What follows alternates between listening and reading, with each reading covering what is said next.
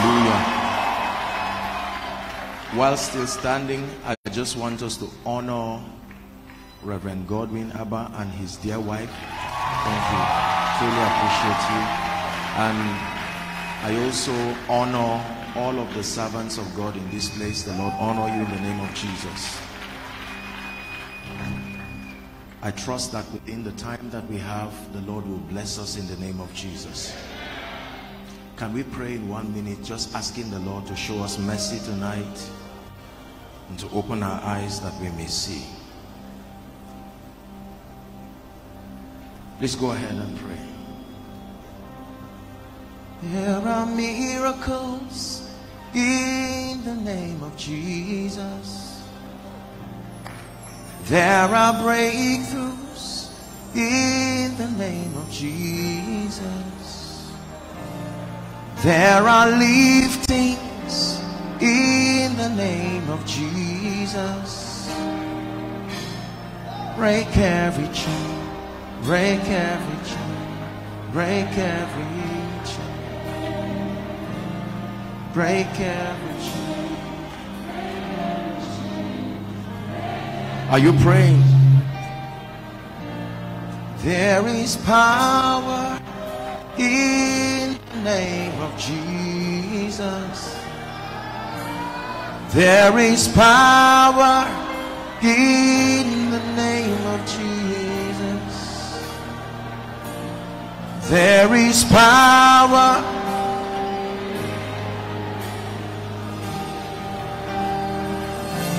to Break every chain.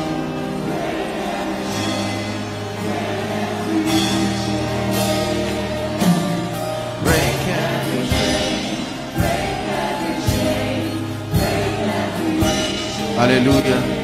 Ask the Lord for a visitation tonight, an encounter that will change your life.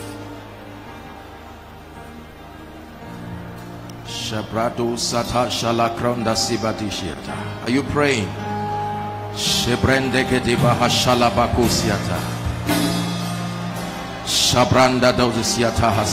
Lord, let something happen in our lives that will change and shift us forever.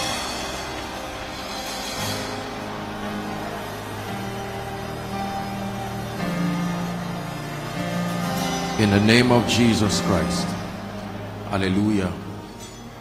Hallelujah. I was very touched when I saw the theme of the conference and I just wondered what would have gone into the heart of the servant of God and his dear wife to have put such a conference. But then I discerned that truly this conference is a prophecy that there are people who the Lord is trusting to lift from certain dungeons into a level and a dimension where their lives will speak the praises of the kingdom. Hallelujah. And I plead with you in the name of Jesus that you be sensitive to these few minutes that we have together. Um, it takes a lot of discernment to receive at prophetic moments. And there must be a requisite level of meekness. You must open up your heart to discern what God is saying. There shouldn't be assumptions at all. These are spiritual realities. Hallelujah. Praise the name of the Lord. You're going to sit down, but please help me with the sound. While I stood here, I began to see the wind just blow round this place. And when I saw that wind, the scripture that came to me was Ezekiel 37. And he said, prophesy to these books. He said, as I prophesied, there was a sound. There was a sound. We'll sit down shortly for the word, but I just want to honor that which the Lord had opened my eyes to see. I saw a wind blowing. And I want to stretch my hands because I'm seeing the number nine. Pastor, please, is it all right? The number nine. This is what I see in the spirit. And the power of God is coming upon those people. It's a strange restoration. Please, I want you to bring them out right now. In the name of Jesus, I come with the rod of a higher priesthood. I declare by the Spirit. Shibakato satali kapaharuta siata. Zebrendu shiata. You're being shifted to a new season in the Spirit. In the name of Jesus, please bring them out. I speak by the mercies of the God of David that your life will never be the same. I send this word as a prophetic instruction in the spirit. In the name of Jesus, may that wind blow over the length and the breadth of this building and set you free in the name of Jesus Christ. Just a minute and we'll be seated. Let's just honor what the Lord is doing. Please bring them out.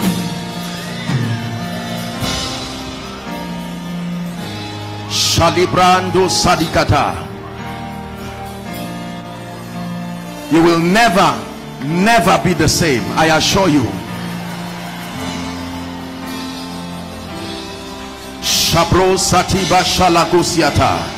In the name of Jesus Christ. In the name of Jesus Christ. The Lord is asking me to prophesy speed please whether you're an usher or not hold them because they will start running physically the bible says and the hand of the lord came upon elijah right now i stretch my hands and i declare that grace that delay you call it a restoration.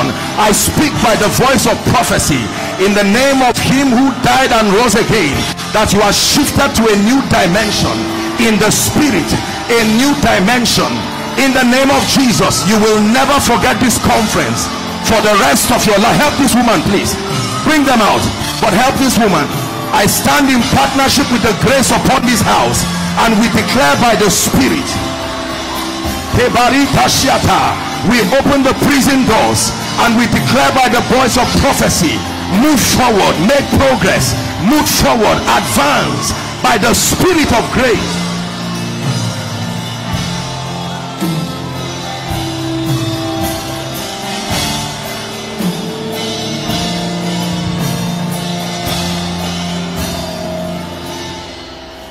You will never be the same. You've touched His grace. Your life must change. You will never be the same. You've touched His grace. Your life must change. You will never be the same. You've touched His grace.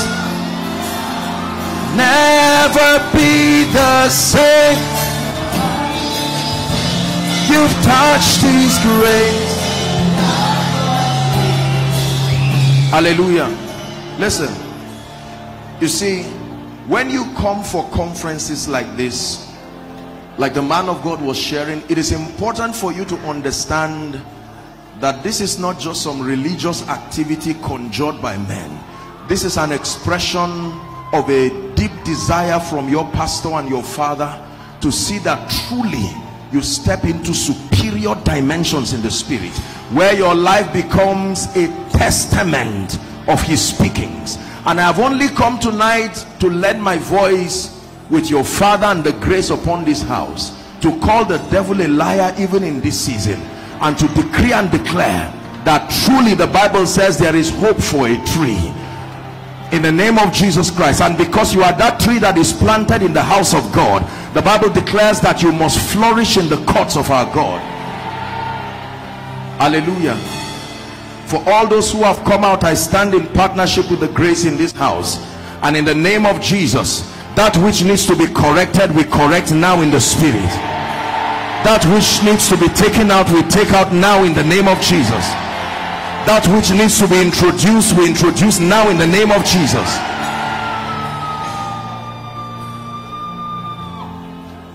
We decree and declare that the end comes to captivity and that the impartation you have received we grant it access to speak in your life here and now. And let Jesus be glorified. In the name of Jesus Christ. God bless you. Please be seated if you can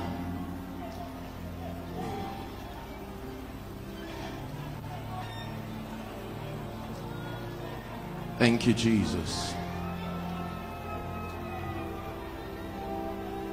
Water you turn into wine. Open the eyes of the blind. There's no one like you.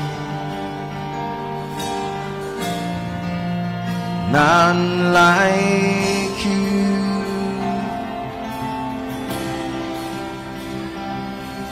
It's into the darkness you shine. And out of the ashes we rise. There's no one like you.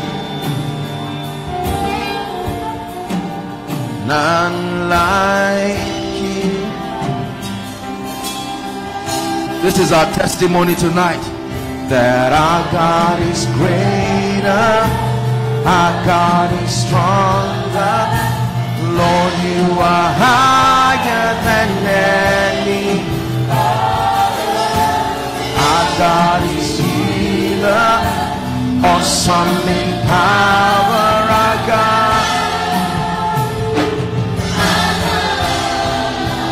Help us, Holy Spirit and let Jesus be glorified in the name of Jesus.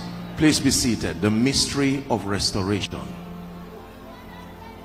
The mystery of restoration. Please just help those under the anointing. Just guide them so they don't injure themselves. And let's lend our attention even at this time.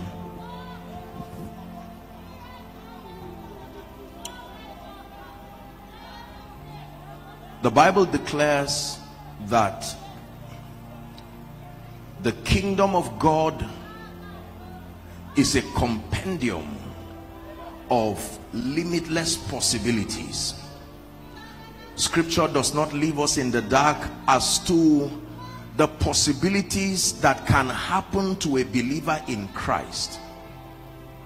Every once and again, the Bible would take out time to remind the inhabitants on earth that the God that we serve is a mighty God and that he is mighty on the strength of his names which are representations of his ability and his character. Please follow closely. According to scripture every time God revealed a dimension of himself that dimension was captured in a name and preserved for generations to come. So that if at any point you forgot that attribute of God he would come through that name and remind you that this ability is also part of what makes me God. Are we together? So scattered all through scripture are the names of God which are a representation of his ability which are representations of the limitless possibilities that are in this kingdom. So the Bible does tell us that we are in a kingdom with limitless possibilities. Again one of the things that from scripture we learn that God hates is idolatry because it's an attempt to bring him side by side to gods that do not match his ability. Are we together? Every time people demonstrated idolatry in scripture they compelled the God of the heavens to react. And he did it in a way and a manner that made all and sundry within that dispensation to return back to the honor of the God of heaven so the Bible is a compendium of God's manifesto. From Genesis through Revelations we see the consistency of his love his power his majesty through dispensations. Whether it is the parting of the sea whether it is in prophetic statements parables the workings of jesus when he came as god manifest in the flesh. All this is to the end that the saints understand that the god that we serve is unlimited. It's not just it's not just a religious understanding that he truly is limit unlimited. Are we together? But then the bible also lets us know please look up that the work of the believer in christ the quality of the believer's work in this kingdom is not only dependent on the love of God but is dependent on our understanding the systemic character of the kingdom. That God is a God of systems and that the quality of my life and your life will not necessarily be a reflection of his love for us. Are we together? But our understanding of what Moses would call the ways of God so the depth and the degree to which I comprehend the ways of God will culminate to the extent of my victory in this kingdom experientially. Now for many believers the challenge is that we have an awareness of the possibilities that are captured in scripture. The average believer can tell you the possibilities that are in scripture the average believer even if he does not know he will not when he hears it the challenge most times is understanding the dynamics that cause the word to become flesh. The bible says and the word became flesh and then it dwelt among us and then we beheld. We couldn't behold what was locked up in the realm of the spirit. It had to gain entrance into our realm. So for as long as our profession of the faith remains just as a verbal communication or a wish locked up in the realm of the spirit frustration will be imminent. We must sustain the spiritual technology to translate realities that have been captured as written in scripture to make it become our experience here and now. Hallelujah.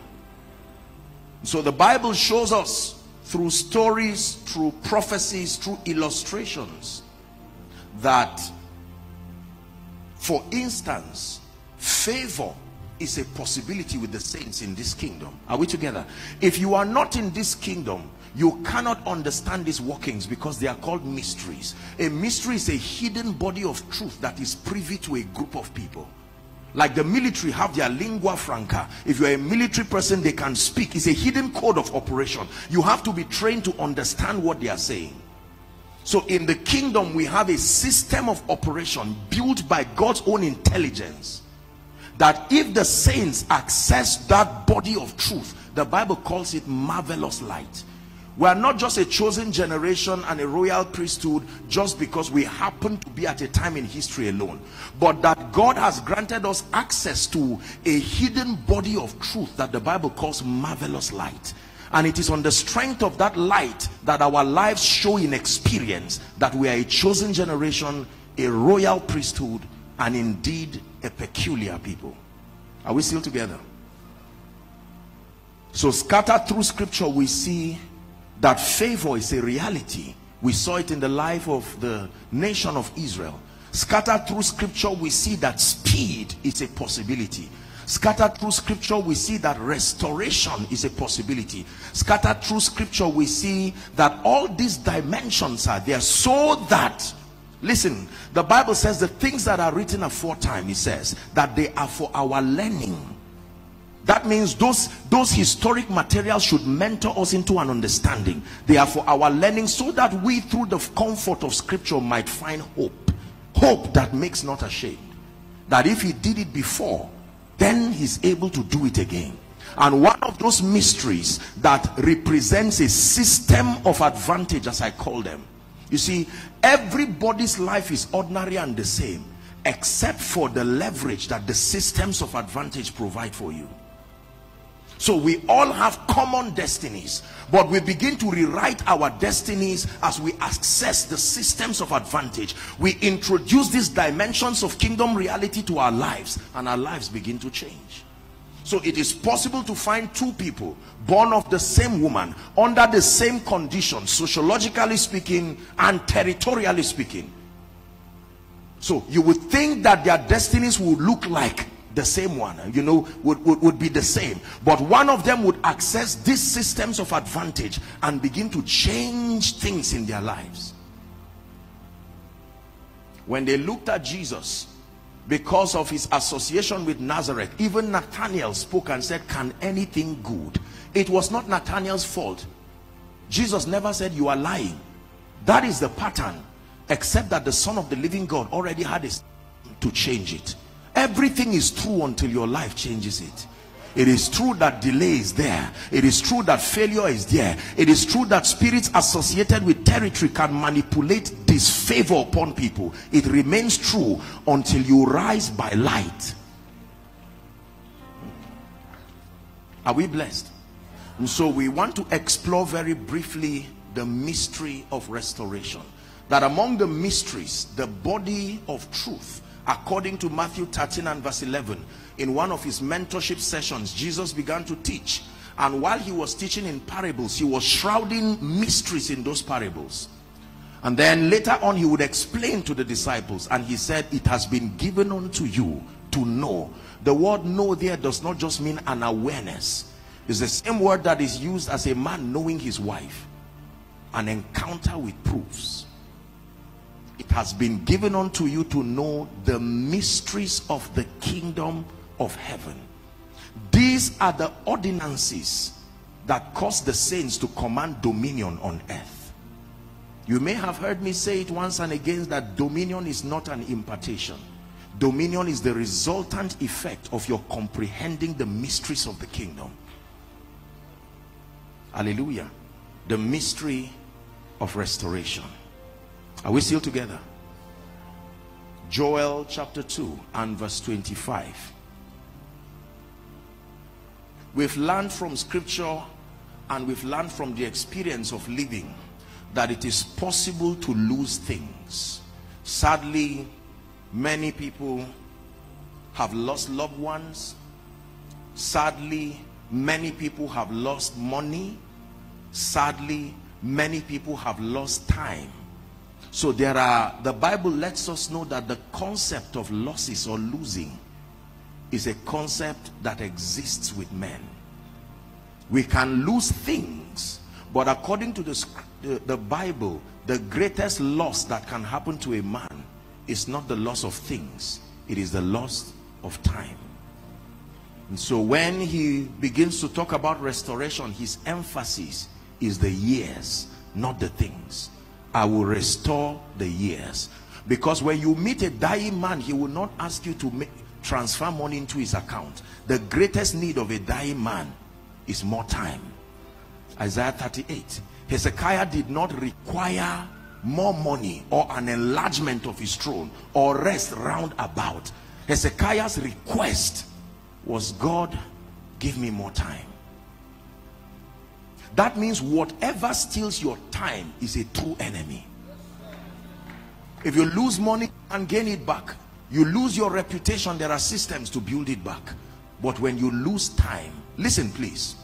It is because of these that the bible says to walk circumspectly as wise he says and not as unwise. And what is the wisdom there? Master anything you know in scripture that will help you to redeem time he called it wisdom. That means when i explore the mysteries of the kingdom it will give me an advantage over time. Are we together if you lose time they may not physically speaking be a way of gaining it back. But we thank God because we serve a God who does not live in time. We thank God because we serve a God who does not really even live in eternity. Because eternity is still a subject of time. It's just time without end. We serve a God who lives in a realm that the Bible calls unapproachable light. His realm is now no past no present. No future now. The concept of distance time does not is not a reality that exists in his realm. It was a borrowed phenomenon to help men catch up with him. That god does not leave genesis 1 verse 1 in the beginning god created the heavens and the earth. That means he was not in the heavens he was not in the earth. You can't create what you are inside are we together? Now, please sit down pay attention. So when we talk about the mystery of restoration we are trusting by the spirit of grace and wisdom to explore the systems of advantage. Listen it is on the strength of these mysteries that apostle paul will say for we know that all things all things do not just work just because we are christians. There is a system of advantage we have that regardless that's why many times when you are complaining god really does not listen. Because in his realm it doesn't make any difference what you've lost or what you had. It, it doesn't those realities are, are are vain. It is within his power to reconstruct anything as though it never left. So when you are saying god remember what i went through he says that, that is unnecessary. There there are too many mysteries i can use to bring you back. It's why it's painful to not trust god because it's an insult on his ability. That even in heaven they are not done learning his ability. In heaven without the constraint of the mortal nature with that heightened level of intelligence and through ages they have they have been students of god in heaven and yet they have not been able to comprehend. So when the inhabitants on earth now begin to use the the temporary vacillations to insult the character of god is indicting on his nature When God says he is God, it takes the spirit of God to help you understand the meaning of that statement. Now you be God, Almighty God. Listen to yourself. You know be man. Stop. Let me explain that to you. God is not a man. He only became a man. When you say God is a man, that means he must submit to someone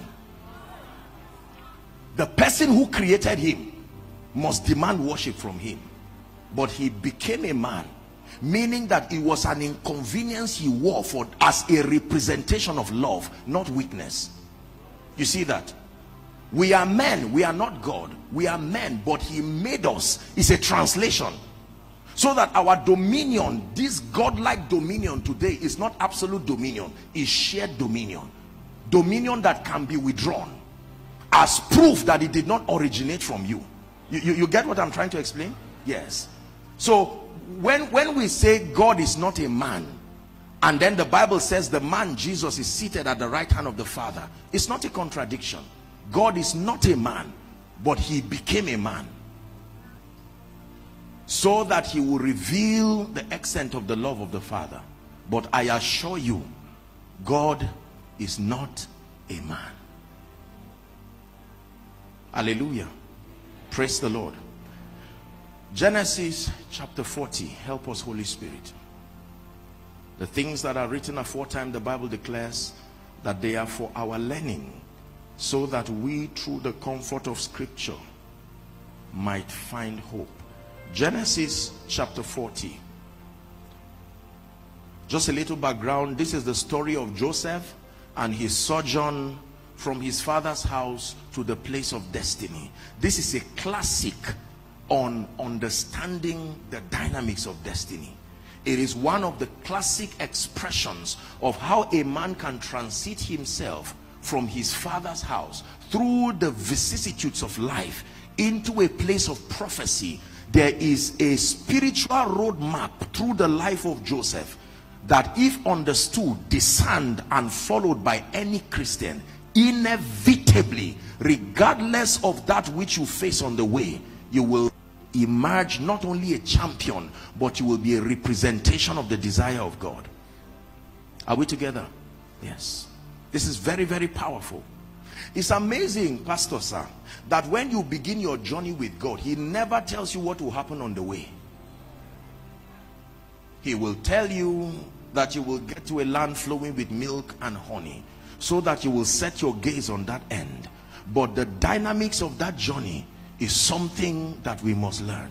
Are we together? Please follow me. Genesis chapter 40 so um, at this point a lot had happened to him.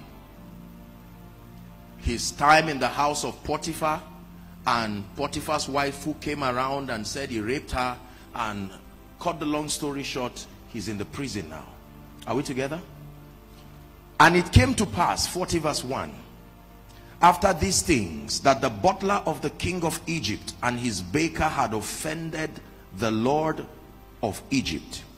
Verse 2, and Pharaoh was wrought against two of his officers against the chief of the butlers and against the chief of the bakers. And he put them in ward in the house of the captain of the guard into the prison. The place where Joseph was bound. Stop there. Please look up. Very interesting rendition. That there are times there is a location in destiny. Please keep that scripture where both good and bad people meet. There is a location in destiny that does not necessarily depend on the accuracy of your work or otherwise. The Bible says two people who had offended the king came into the prison and to their shock they found out that the innocent was also in the prison. That the godly was also in the prison. That there is a place where both men of character and lack of character can meet. There is a place where men who are sincere and passionate and those who are lazy and unserious will meet. This is a very strange mystery. Are we together now? So the discourse starts in the prison. Why will a good man and an evil man still find themselves in the same position a man who feared God, who eschewed evil, who on account of his integrity, you would think that that man should just be defended and never even need to go through such a thing. Where is the scripture that says I was young and now I am old? I have never seen the righteous forsaken. Please give us that scripture. This is a revelation that will help us by the spirit to mature and edit our interpretation and also discern how God answers prayers. Because when God speaks to you you must understand what he's saying. For instance Mary's trouble started the day he said you are highly favored. That means everything that follows God's statement in his eyes is called favor. From the day God tells a woman you are highly favored she gets into trouble her stomach is protruding. There are rumors all around. And they are saying mary i thought you were a virgin. And she says i still am. And says so how do you explain this? Which rabbi came around? Hey, no no no no no. It was a ghost. I met an angel who told me a ghost from heaven will come. And that what is in my womb is a holy child. You know how stupid that sounds? And yet in the mind of god he calls it favor. So could it be that what you are going through now that the devil is making you feel that it is defeat in the eyes of prophecy because a day will come the reward will be for only the, the, person who the person who has passed through what you have passed through. And if you have not gone through that kind of thing you cannot qualify for it. Are we together? There are times in life where they will invite you to come and preach not because you can preach but you are the only one who have gone through what you have gone through. And you have earned the right. God calls it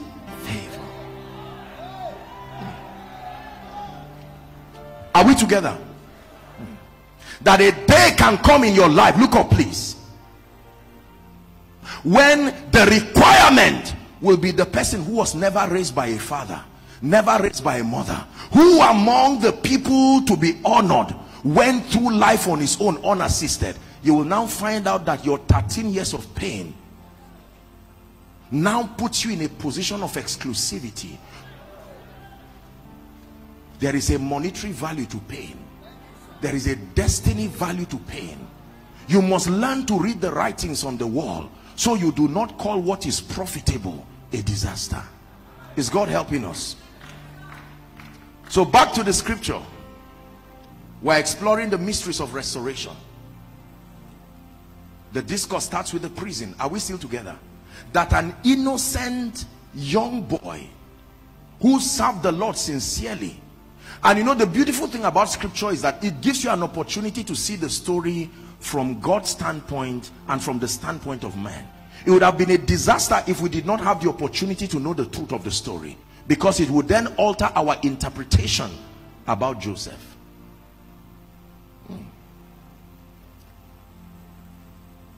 So good people and evil people can find themselves in the prison so Jesus can be on the cross and yet two criminals are by his left and right and all of them are hanging on a cross.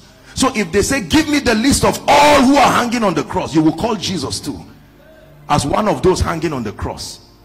And by the interpretation of men, anybody who hangs on the cross is a sinner.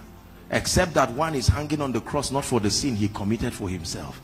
It's a sacrifice for others this already should be a message to give us wisdom that when you see people go through things you cannot understand the secret is to pray for them and remain discerning. Because there are people carrying burdens they have no business carrying. God part of the requirement of the grace they carry has compelled them to go through things that ordinarily they will never have gone through.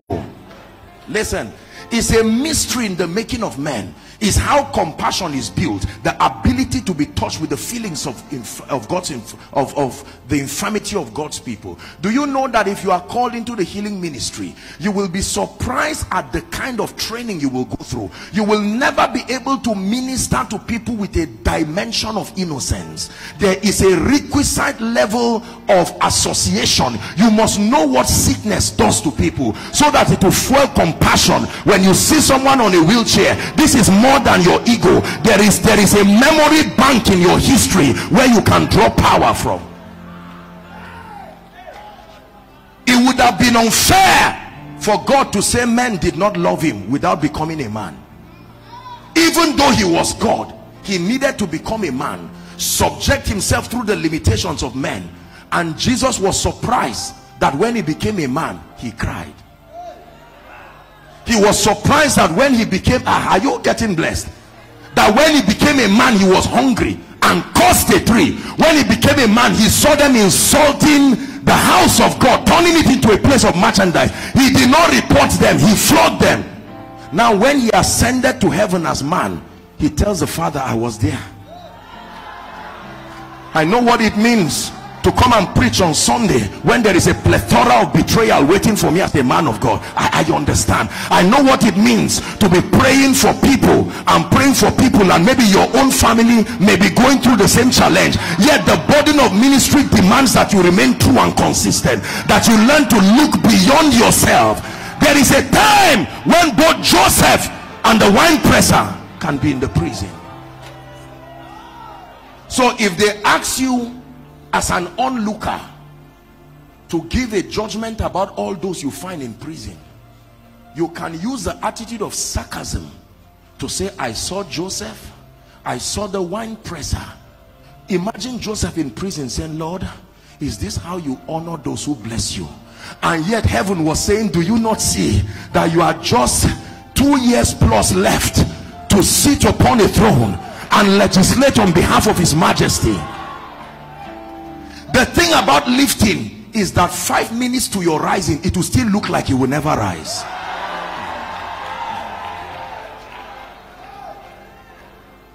Are we blessed? Wherever we stop tonight we'll pray. But we, we, we are discussing something deep and serious.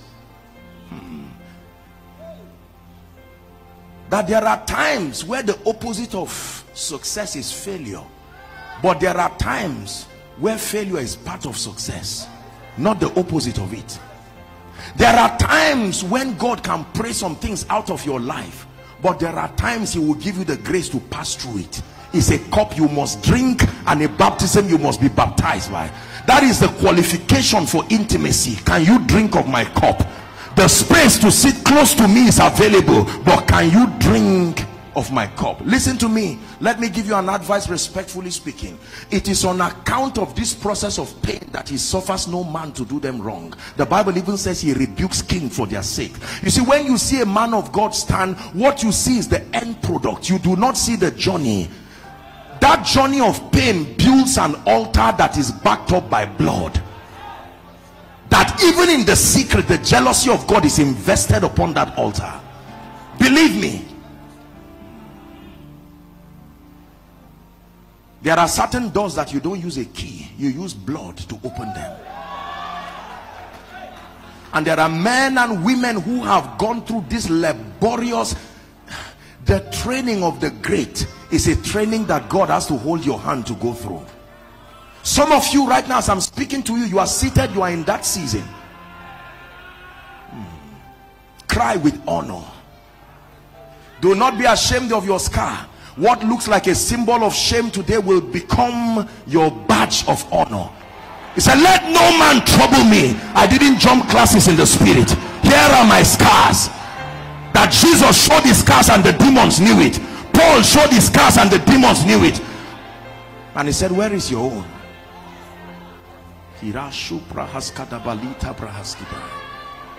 you don't just tell somebody be healed and is healed. No. You don't just say the power of god is moving because you found it in scripture. It's a joke. There is a track record. The price for life is death. The weight of god is too heavy. Only dead men can carry him. It's a realm in the spirit called galatians 2:20 where your ego dies. Many things happen in the prison. Are we together? Please listen to me this is both a prophetic teaching and a prophetic roadmap to show you where you are now. There are times when you are in prison you will be amazed that you will be praying over issues in your own life and you will not hear God.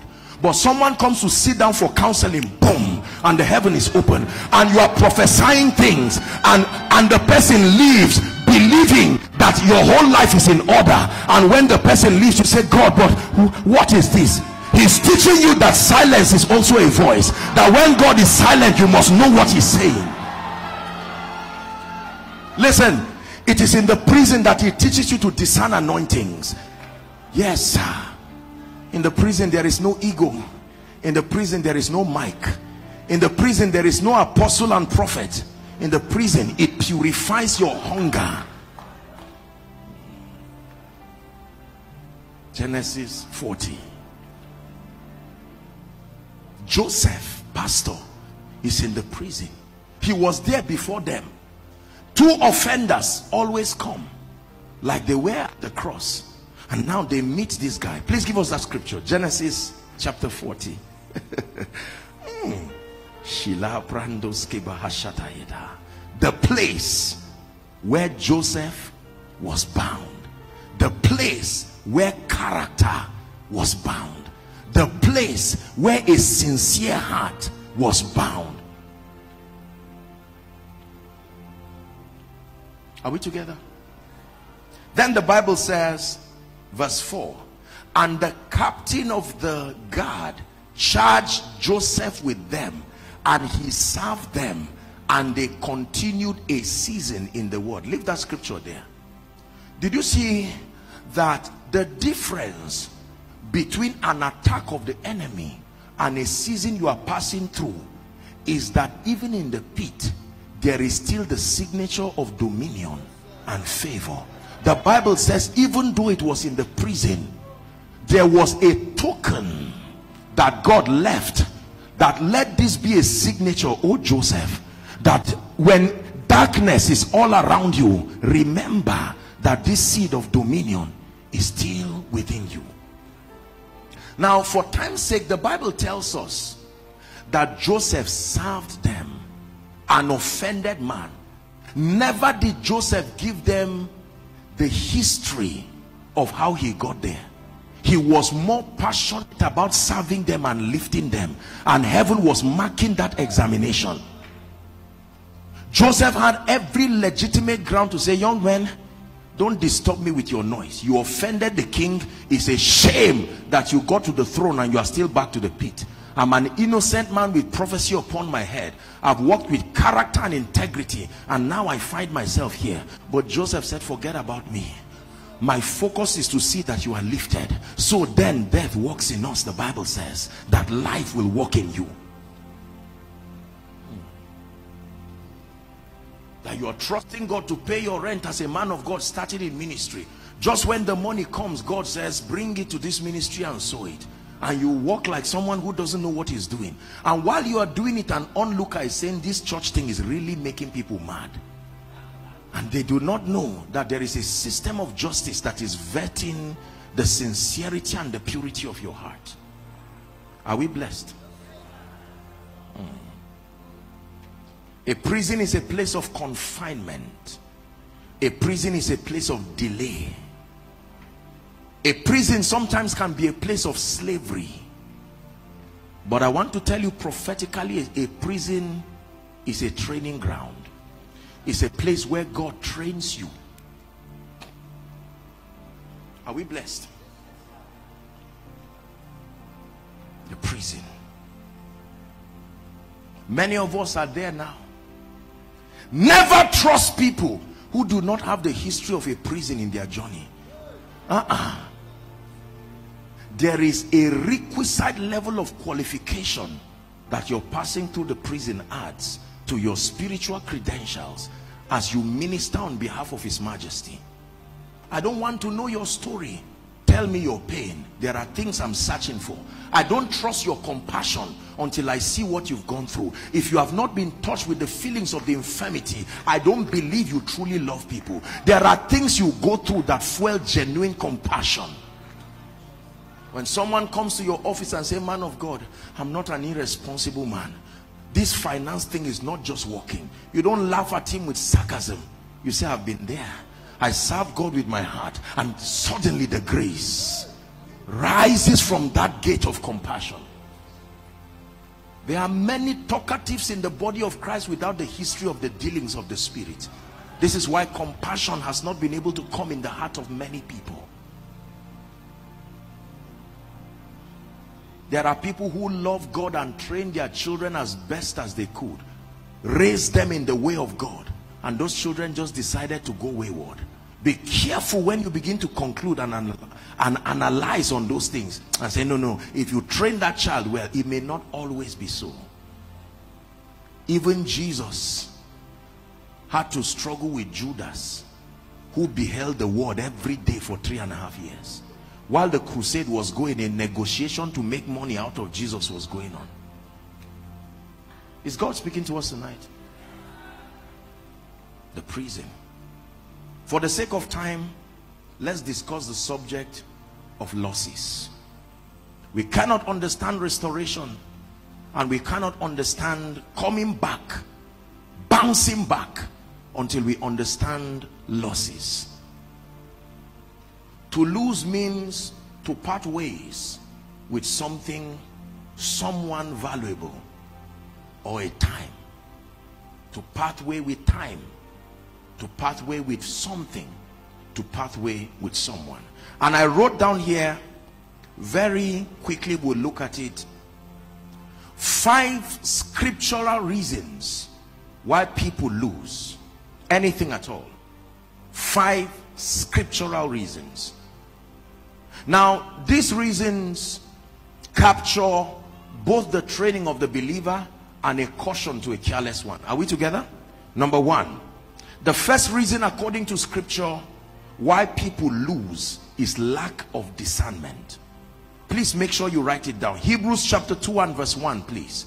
Help us media. Hebrews chapter 2 and verse 1. The first reason why people lose in this kingdom is lack of discernment it says therefore we ought to give the more earnest heed to the things which we have heard lest at any time we should let them sleep. It was while men slept the bible says that the enemy came as a farmer too and planted something. So it says awake thou that sleepest and christ shall give you light. Lack of discernment. In Genesis chapter 28 the story of Jacob's encounter at Luz that he would later call Peniel it was the encounter where he saw a ladder ascending from the earth to the heaven. When you go to verse 16 of Genesis 28 the Bible says Jacob himself counseled himself and rebuked himself. He woke up from sleep. So the problem was sleep. He woke up from sleep and said surely the Lord is in this place. And I did not know. There are many people who have lost seasons because they could not discern there are many people who have lost relationships because they could not discern. There are many people who have missed an opportunity to receive territorial anointings because they could not discern. Discernment. Lack of discernment. Number two for time's sake we have to rush. The second reason why people lose in this kingdom and then in life and destiny is carelessness. The second biblical reason why people lose is carelessness. An attitude of nonchalance to life, nonchalance to destiny, nonchalance to walk. Hebrews chapter 2 and verse 3, please. how shall we escape if we neglect so great salvation how shall we escape? That means bondage is imminent for anybody who lives a life of negligence. Are we together? Carelessness. Taking life for granted. Taking things for granted. Taking opportunities for granted. Oh there's a free mentorship session with my pastor. But what is that about? I mean i can always get it. Careless approach to life one day i'll be anointed. I, I think there's there's always time. All this fasting and prayer is, is an interruption to my life. Carelessness. He says i must walk the works of him that sent me while it is day. There is timing with destiny. Every time is not the right time. Every time is not convenient. He says while it is day for the night cometh when no man can walk again. Are we together in athletics in football and most sports they have an age range. No matter how passionate you are about it once you pass that age range sorry for you. Football they have an age range. Tennis and all of these sports they have an age range. Athletics. It is important for you to know that there is timing to destiny. So carelessness. Revelation chapter 3 and verse 11 revelations 3 and verse 11 read with me please if you're a christian and you can see it. One to read. Behold i come quickly. Hold fast which thou hast that no man carelessness. Let it never be for you that let his bishopric let another take. Carelessness. Number three very quickly why do we lose in this kingdom?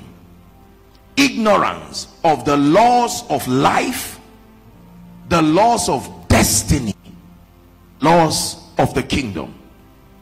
Ignorance of the laws of life the laws of destiny the laws of the kingdom. Psalm 82 and verse 5 that ignorance is a plague in this kingdom. He says they know not neither will they understand that they walk on in darkness and all the foundations of the earth are out of course. Lack of light. Verse 6 says i have said all of you are gods and you are children of the most high. The tragedy is in the next verse verse 7 He says but you shall die like mere men and fall like one of these princes ignorance. Ignorance is a terrible plague. Isaiah 60 and verse 1 says arise shine it says.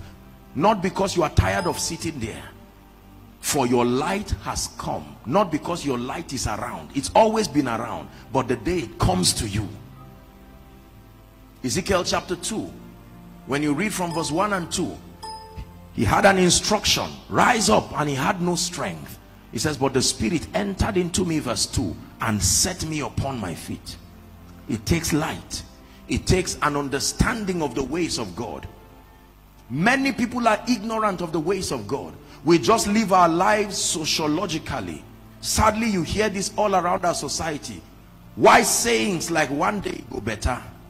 Why sayings like um, I know one day one day things will change. You see all those kinds of thinkings will be to our own peril. Our lives must be intentional. The Bible says he that strives for mastery is not crowned except he strives lawfully. The quality of my life and your life is predicated on our depth of spiritual illumination our understanding the ways of God not just a religious study of scripture but study of scripture that reveal to us the keys of the kingdom. Are we blessed? Number four why do we lose in life and in this kingdom? Abuse and misuse. The fourth reason why we lose abuse and misuse. In matthew 25 the parable of the talents when you read from verse 14 down to 30 matthew 25 the bible talks about the parable of three men who were given talents. One was given five the other two one. The bible says the one with five went and traded it and returned back with a hundred percent. The other one with two returned back with a hundred percent. And the one who had one already he had an attitude of bitterness and jealousy and anger. And he went and buried it. You bury seeds not talents. And when the master came he said i know you are a hard man. You like to reap where you did not sow. So i thought instead of wasting my time let me bury it. Here is your seed. And god called him wicked and unprofitable. That everything god gives you. Let me tell you something. You see we talk a lot about transfer whether well transfer or it's not only unbelievers that good things leave. Believers who have who have a track record of abuse and misuse will also lose things. Because god is a god of of caution and he's a god of responsibility. If you are hungry and he feeds you with five loaves and two fish and you now eat and you are full and carelessly waste the rest. He will say go and gather the crumbs. But tomorrow you can be sure you will not get that bread again. God was so meticulous he showed us a sense of responsibility and caution. When all those guys ate and they littered everywhere and left he said go and gather the crumbs. And they gathered 12 baskets full. Abuse. There are people who have abused power there are people who have abused and misused money. There are people who have abused and misused the anointing abused and misused leadership. Africa as a continent is in a plague today sadly because of different levels of abuse and misuse of authority and power. The fifth reason why we lose in this kingdom it can be because of the tests and the trials that we are going through. It is possible that because of the dealings and the trainings you are going through in the spirit for the sake of your destiny momentarily certain things can be withdrawn from your life. That is true. The bible does not leave us in the dark as to the fact that during your period of training it was apostle james chapter 1 from verse 2 please give it to us james 1 and verse 2 he said count it all joy my brethren when you go through diverse temptations. Secure your stability with this knowledge he says knowing this james chapter 1 from verse 2 knowing this that the trying of your faith he says works patience. Are we together? Verse 3 and that when patience has had its full work in you it will be able to build you paraphrasing so that you may be perfect and entire wanting the word wanting there is lacking nothing. So sometimes god takes things from you so that tomorrow you will not have any lack again. There are times that god will take your seed of today away from you so that tomorrow you will not need to beg again. It is not listen god does not just give he also takes away. But when he takes away it really is an, a spiritual investment because with God it will always come back. Hallelujah. Yes. So these are the five reasons that I pieced together from scripture as to why people lose. A quick recap. Number one that people lose because of lack of discernment.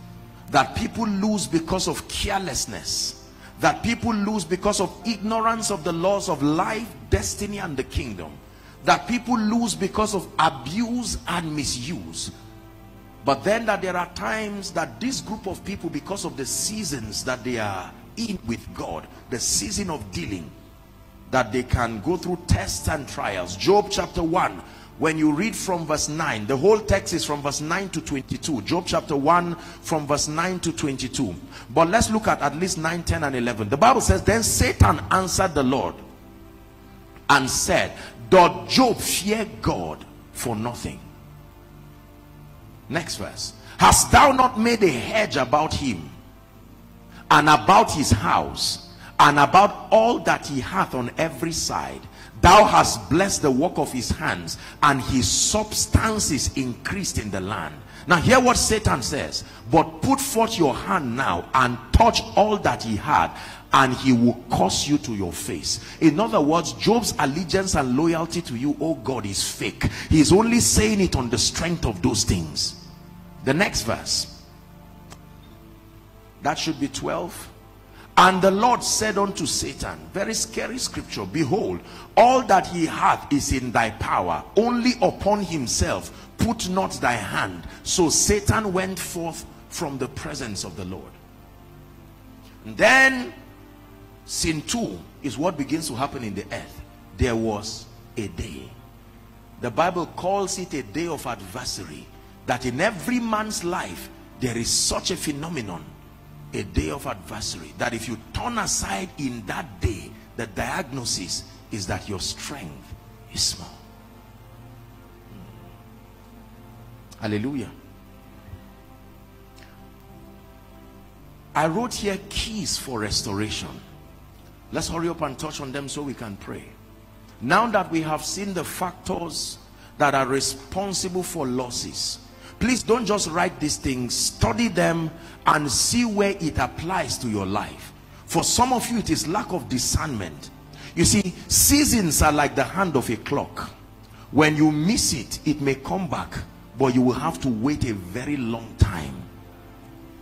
So like the magi the wise men you have to be discerning to discern moments that you can capitalize on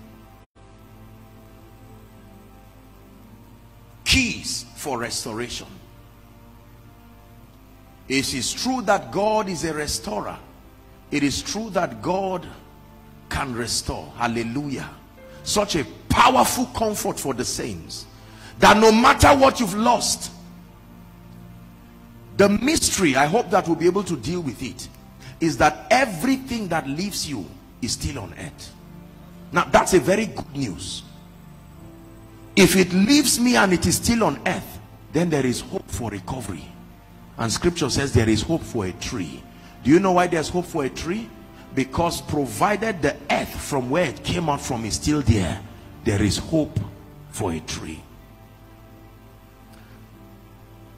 There are four keys that i wrote here that are prophetic roadmaps. I wish we had time to walk these as seen in the life of joseph but if any one of you in this assembly following online from any part of the world if you walk through this process i give you a guarantee by the integrity of scripture regardless what the situation is you truly will come out. Are we together? This is where i want you to pray. In one minute cry and say lord open my eyes. No assumptions. Open my eyes in the name of Jesus that that which you are about to show because many of us are at this point now haven't explained to you the mystery of the prison haven't explained to you the mystery of the losses around your life and destiny whether it was for a genuine reason or otherwise. I am showing you a prophetic roadmap by the spirit that a way out can come if you can see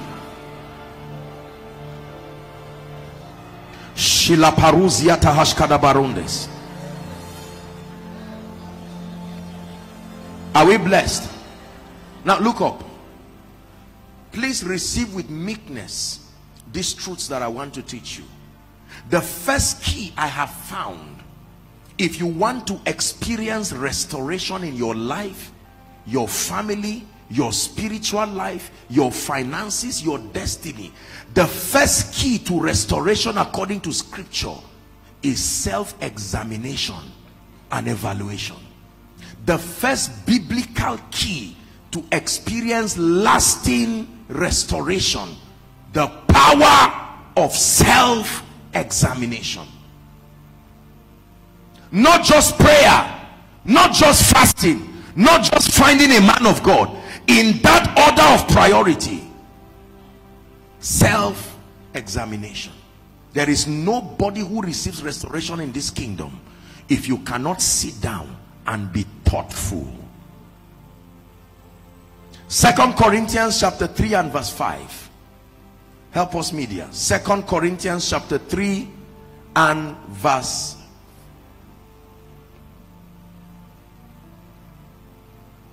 oh dear Luke, let's look at Luke 15.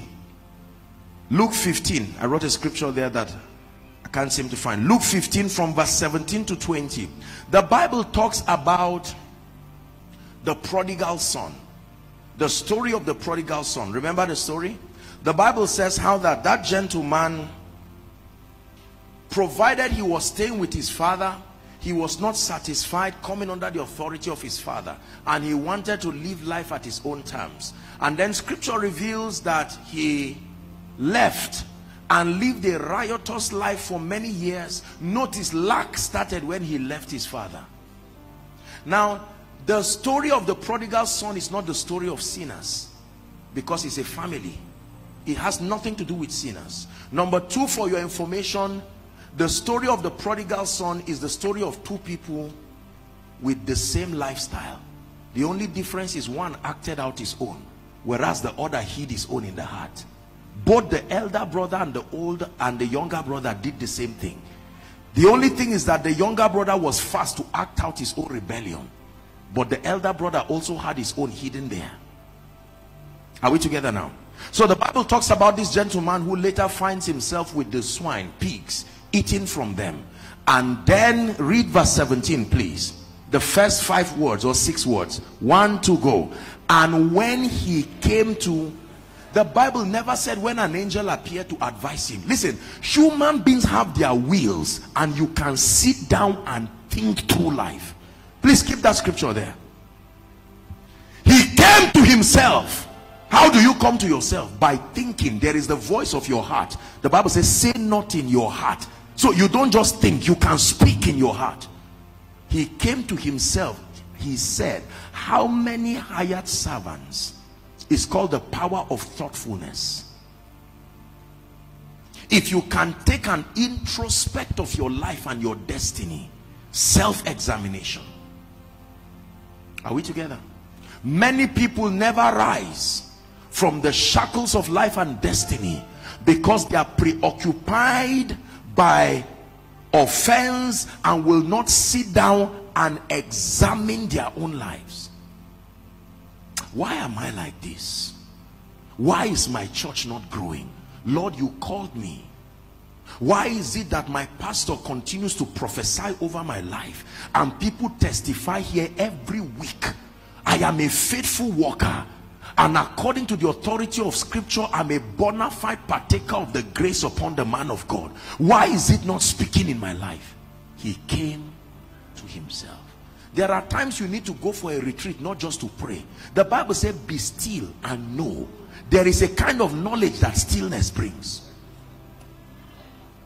Are we together? That you go and lock yourself and sit down quietly and say something must be wrong. He came to himself. January, this happened. Just when I was recovering, my wife got sick. Just when she was recovering, my child got sick.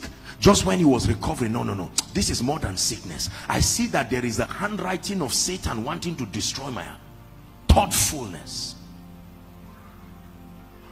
It's unfortunate that we live in a world where we are preoccupied by activities. And so thoughtfulness now is a luxury but believers hear me. In this end time we must trust god for grace to hide away from people. If you're a man of God here respectfully this is an honest advice. You will never be a cutting-edge tool in this end time.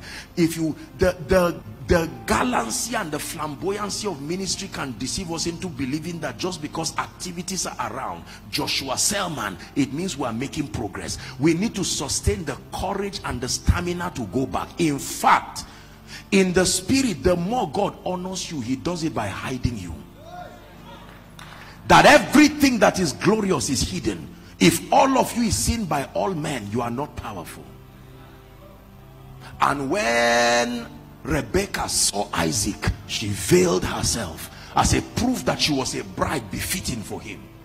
As soon as she saw Isaac the one she would be connected to she veiled herself.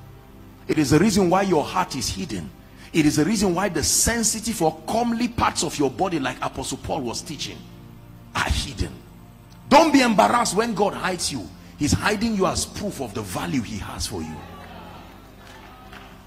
Are we together? But we're dealing with self-examination. The young man sat down one day and came to himself. He said how many hired servants does my father have? And i am here feeding with the swine. I will arise and i will go to my father he said. And i will say father i have sinned against you and against heaven and i am not worthy he had not gone no. He was discussing self-examination that in the name of Jesus I will not be a lazy man in this Abuja again. The Bible says the earth is the Lord's. I know there is a portion for me. I have been giving excuses and saying all my family members are like that. I know my father did not train me. I know I did not have the leverage of uncles and aunties. But if I continue to give this excuse I will find out one day I'm 50 years 60 years 70 years giving excuses. From today I make up my mind. Self-examination this life of disobedience and dishonor to my pastor. Every time he's prophesying i stand and i say oh i'm the one washing his car. And for five years I've not received any testimony. I come back to myself. I'm coming for this service with my heart open. And if my pastor is prophesying I will not just see him as my pastor. He is God's apostolic voice to me. Self-examination. Fear a man who has sat down to think. He's ready to rise listen let me tell you how restoration came to Samaria. I wish we had time, we would have walked scripture tonight. The Bible says there were four lepers. For as long as they were silent and not thinking, they remained on the ground. But when prophecy came, the spirit of wisdom landed on them and they began to think and contemplate. Why sit we here till we die? They began a conversation. Charlie Paruskiata.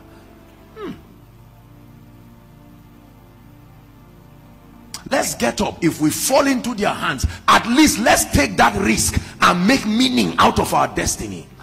Instead of sitting down and giving excuses nigeria is not working. Let me go and look for land at least somewhere. I may not have the money to buy it but they will not arrest me for seeing. Let me let me let me trust god for grace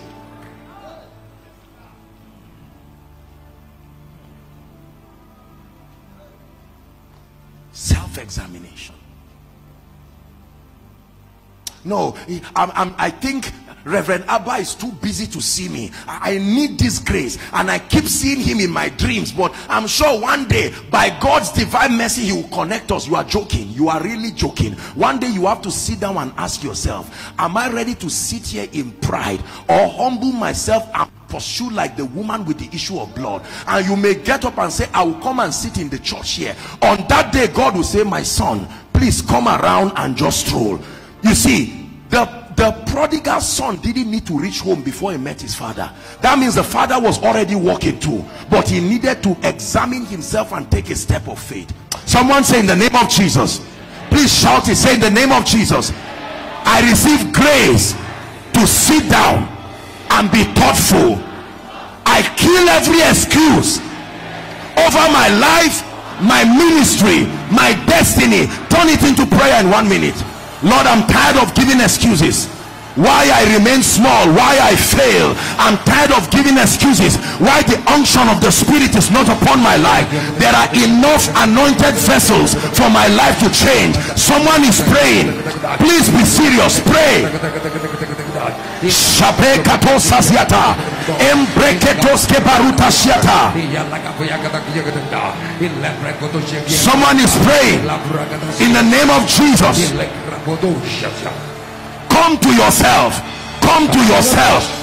i'm tired of laziness come to yourself Shibarus Kadiba Hashalada One more minute as you pray.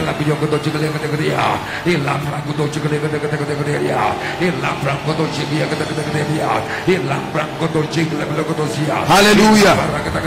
In the name of Jesus. Please sit down. I want you to enter a covenant with your destiny tonight that I'm going to go back home and ask questions. We have an altar in our family, it's not new. The altar brought my grandfather, he brought my father. So I'm suspecting that's what is happening. I'm sure one day I'll think about it. Oh my goodness. Oh no, sir. Oh no, sir. One day you have to wake up by 2 a.m. and say, sleep, you hang on. I am sick and tired of this. I come to myself. That what killed my father and God opens your eyes to see that there is an arrow looking for your destiny and for your children and you stand with power and fire. Self-examination. It was God's servant Bishop Oyedepo that said when they started the church in Kaduna listen to me. I started ministry in Zaria. I know the spirits and the altar in that territory. The lifespan of impact is three years if you reach three years something must bring you down and bring your ministry out in shame. So i understand what you were saying because they are ancient gates. And he said the church was not growing. He would have given the excuse but he said you know what? Let's gather a few of the leaders. And they began to examine to contemplate. Suddenly the spirit of god brought him out according to him and showed him a thick layer of darkness that misrepresents the ministry. And he he did something about it and all of a sudden doors open. Why are my younger brothers feeding me why am i the one who i am the one who invites all of them for encounter programs? And yet at this level of life i've not been able to build a house. At this it's not like your faith is tied to those things but hear me there has to be a consolation to your christian experience. If by and large fruits do not grow on that tree life will not give you forever as an excuse. Are we together until you love your destiny more than sleep you are not ready to rise there are times when you should it's not an attack. You just sit down and you are angry and say look my wife wake up. We need to discuss this thing. What is going on in this family? Abuja is a good land. Someone came to abuja in january and right now they have seen the faithfulness of god. We've been here since 1998 something is wrong. We confess our ignorance but for starters let us come to that point of recognition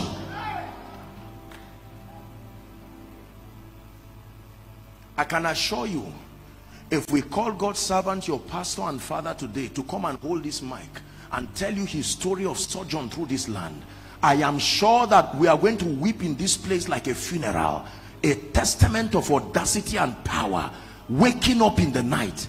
Thank God for your dream. Joseph had a dream but you wake up to fulfill it. Dreams are powerful but they don't happen in the realm of the spirit men who dream wake up. Can you prophesy say myself wake up one more time myself wake up. Don't be embarrassed. This is a conference. Myself wake up.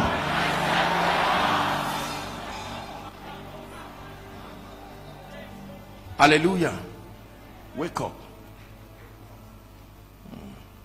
He came to himself. Number two few minutes and we're done tonight the second key that provokes restoration in this kingdom is the power of brokenness.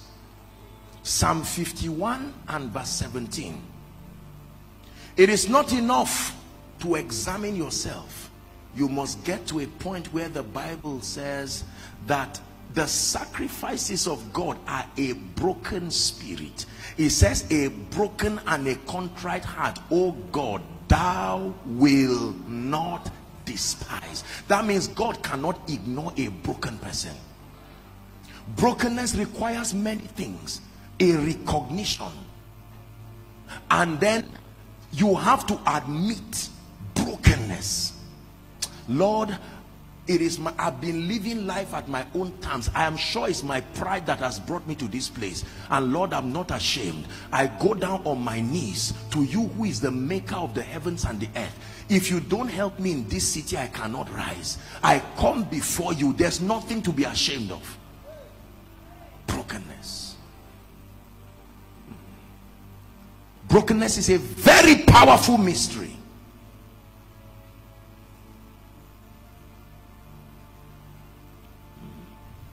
as a man of God you come to God broken. Lord I love you but lately I found out I've just been doing ministry just for the sake of money. And it may not be that I'm evil but sincerely I think uh, maybe maybe there are things in my life I'm, I'm, I'm, I'm there, there, there, are there are too many compromises but I come before you sincerely. There is one thing I know about God when God sees brokenness he cannot ignore it. Genuine brokenness. Hallelujah. Brokenness. Where you open up your heart sincerely like the psalmist and say search my heart and try my thoughts. Check oh God if thou see any evil way in me please lead me to the way everlasting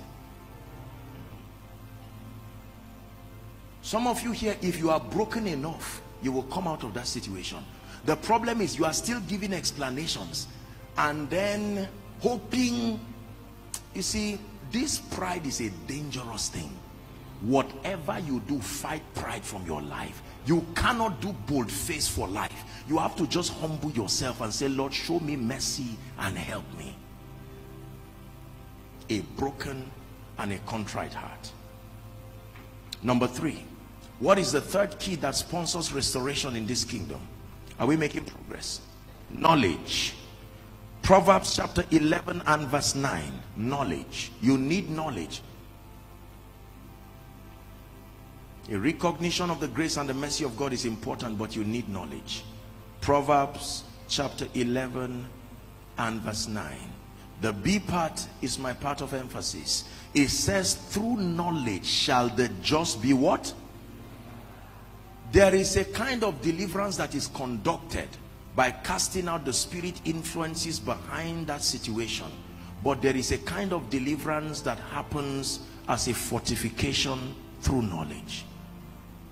The Bible says to preach deliverance, not only to conduct it. There is a dimension of revelation that secures deliverance. Everyone please say knowledge. Isaiah chapter 60 and verse 1 amplified says arise from the prostration and the depression that circumstances have kept you. It says rise to a new light. You see it's important for us to know that we need light. Light enough not just light Jesus wept over Jerusalem and said, Oh, Jerusalem, Jerusalem, if you had known even in this thy time the things that pertain unto your peace. He says, but now they are hidden from your eyes. You need to go for knowledge. Gather the tapes of your pastor. Gather the CDs. Take a three days time of fasting and prayer. And sit down and flog it out with destiny. Lord, open my eyes what is the key to speed? Open my eyes. What is the key to sustainable influence? Open my eyes. Why are my hands empty? Lord, open my eyes. And while you are listening to the message, suddenly, as the man of God is ministering, light breaks Exodus chapter 3 and verse 21. God will open your eyes to explain to you the mystery of an empty hand. He said, and I will give these people favor in the sight of the Egyptians. And it shall pass that when ye go, ye shall not go empty. Lord, why have I not gotten a property, whether for myself or something? I know there is a way Psalm 44, I think verse 3. They got not the land in possession by their own sword. So this is not a, a thing of sword. Neither did their own arm save them, but thy right hand and thy arm and the light of thy countenance, because thou hadst a favor unto them. Luke 252 and jesus increased in wisdom in stature in favor with god and with men. Esther chapter 2 from verse 15 the b part says and esther obtained favor in the eyes of all them that looked upon her. Verse 17 now says same scripture. It says and esther was loved by the king above all the women. She obtained grace and favor in his sight. More than more than more than. Suddenly you begin to pray it in your life and walk those keys and your life will change like day and night. Is God helping us? We need knowledge. Please fight ignorance like you fight Satan. Fight ignorance ignorance. Ignorance is a dangerous thing. In this end time you cannot live your life wishing and hoping you must get exact knowledge. The bible says to walk circumspect as wise and unwise. Arrange the various aspects of your life where you are trusting god for sustainable lifting and fish out the mysteries that connect your desires to your destiny what is responsible for speed? What is responsible for church growth? What is responsible for transgenerational impact and influence? What is responsible for ever increasing fire? What is responsible for the anointing of the spirit? What is responsible for relevance within the context of a generation? There are mysteries that control these dimensions. It is the glory of god to hide a thing but it's the honor of the kings to search it out I was teaching in Lagos and I gave a parable that the Lord opened my eyes to see. Theologically, it's called the parable of the lost coin. The Bible says that a woman lost her coin in a room, she knew that there was a precious jewel in that room that could make her wealthy could make her great but it was missing. And the first thing she did was to light a candle. Light. You cannot search in darkness the second thing she did was to find a broom. With that broom she swept everywhere. That's how we search for things. A candle and a broom. A broom talks of your hunger and your consistent pursuit. You sweep by getting all the tapes your pastor preached on faith. You don't get one or two because you may find part one of the revelation that will liberate you here then you now go to a 2016 message and find the other parts that God is building for you. It's called sweeping. You need light enough. I made a statement a few days ago.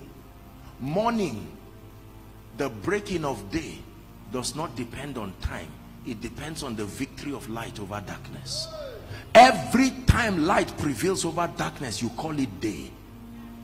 It is not when it is six o'clock or 8 a.m that you say it's day. No. All through the night there is a warfare between darkness and light. The time that light wins is what you call day. So if light wins by 2 a.m it will become day. Are we together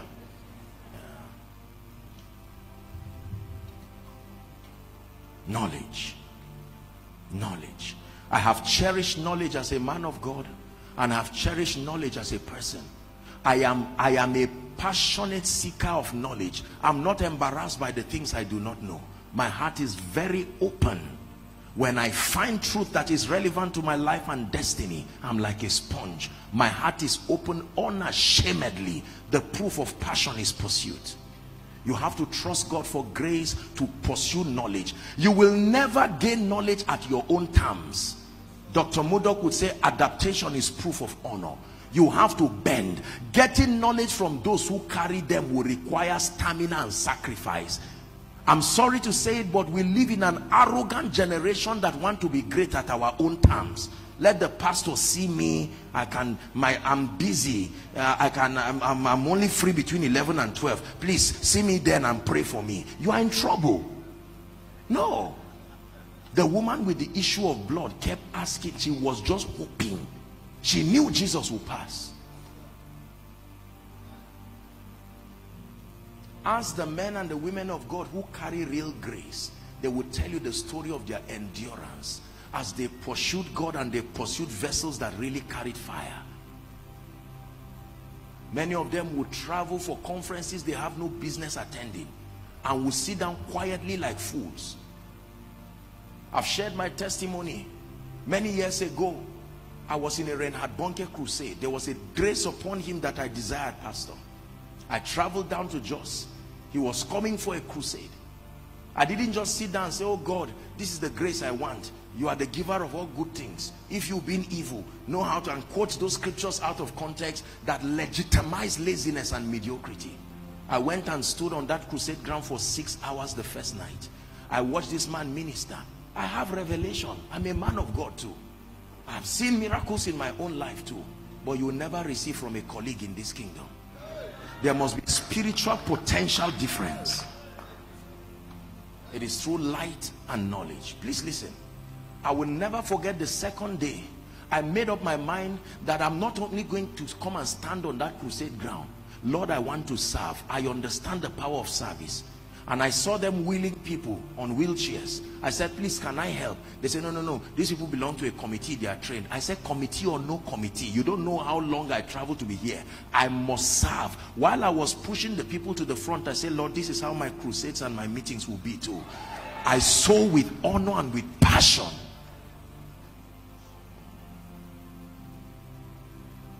All I need is you.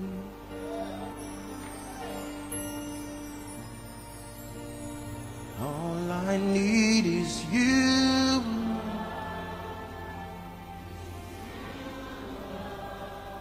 All I need is you.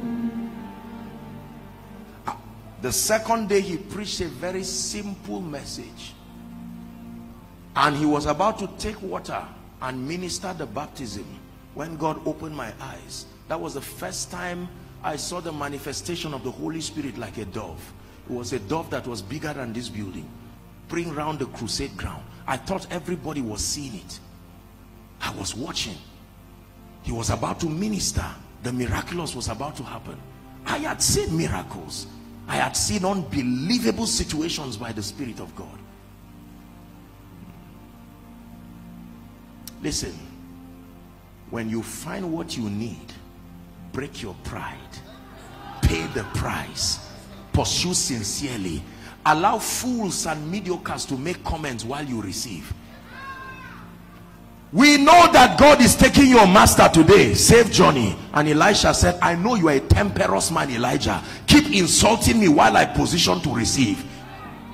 Do you have the stamina to endure? Let me tell you anointed vessels are difficult people. Some of them are arrogant. Some of them are insensitive. Do you have the stamina to look past those things and say i know what my heart searches for i can't be so selfish to allow my ego rob a generation of a dimension of god. The spirit of elijah dot rest on elisha. When that grace landed upon my life I remember many years ago the Lord gave me an instruction that he was going to lead me to God's servant to go and sow a seed Bishop David Oyedepo and that morning God told me this was the day. I will not tell you how much but many of you will be surprised. I got up got the next available flight. I went. Behind every story there is behind what is every glory there is a real story oh. Before you admire men find out their story. Nothing works by mistake. There's nobody who wins the olympic by mistake. I want you to cherish your pastor sincerely. Not every man of god will open up their scars to you to watch. No the pain is too precious. I remember long and short when so the seed when i came out the holy ghost asked me to put my hand on the ground there in Canaanland and said from today you have entered the overflow anointing.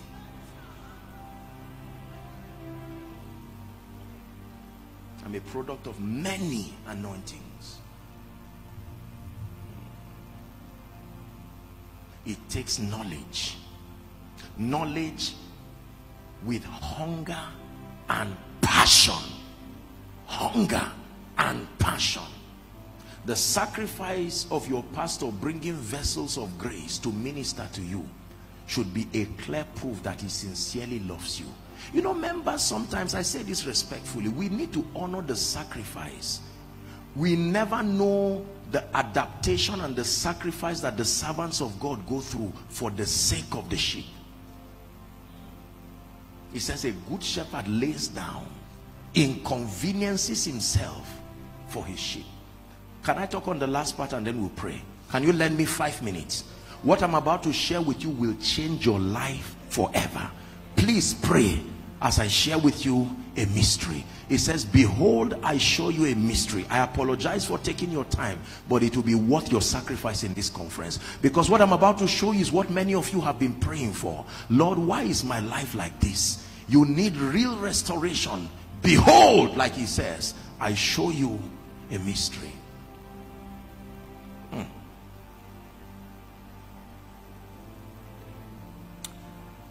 Isaiah 42 and verse 22.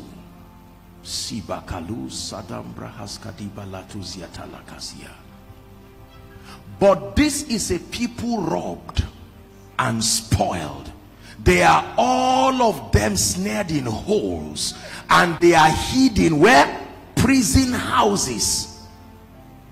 They are for a prey and none deliver it they are for a spoil. And there is no voice that saith restore. In this kingdom you do not have the power to bring yourself out of prison. You will have to depend on someone who is already out of that prison. The bible says the king sent for joseph and brought him out of the dungeon.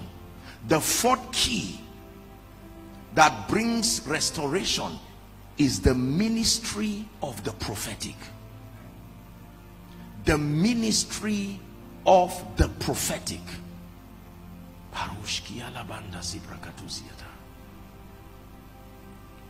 Now I know that respectfully speaking all across this land Africa and the entire globe there has been quite some excesses errors imbalances and outright failure in the administration of the ministry of the apostolic and the prophetic especially. I know that there have been excesses and all of those things. These things are not hidden. We say it with a heart of respect and honor for the body of Christ but it is true. And so in a bid to manage these things there are people who are who continue to advocate the complete annihilation of the prophetic and the apostolic ministry as a way of managing the imbalances and the excesses. No. Jesus said in matthew 26 i will build my church so he's the architect. You go to him to find out how he built the church. And this is how he built the church. He said jesus christ himself being the chief cornerstone that immediately you encounter jesus there are two ministries you must meet the apostolic and the prophetic to be built. This is how jesus designed the church. That even in heaven the foundations are made of the 12 names of the apostles. Are we together Jesus the son of God is in heaven desiring to come to the earth. And not even him in his power had the right to come into this territory without someone calling him. So Anna the prophetess had to spend years speaking and calling the word. You just know that the word became flesh but do you know there were prophecies that made the word flesh? Number one when Jesus was born they quickly took him to these people Jesus. Jesus walked under a closed heaven for 30 years even as the son of God. No mention of his heavens open until he went to find the prophet who God was using before he came over that territory. Now let me show you a mystery. Why many people remain grounded. John was not a Baptist. John was a prophet baptism was a strategy given to him to identify Jesus. So he will baptize and look up he will say go. He will baptize and look up he will say go. He will baptize and look up he will say go. Baptize and look up he will say go. Suddenly ah shalika paruta siata. By the prophetic he identifies a young 30 year old man. And he says behold the lamb.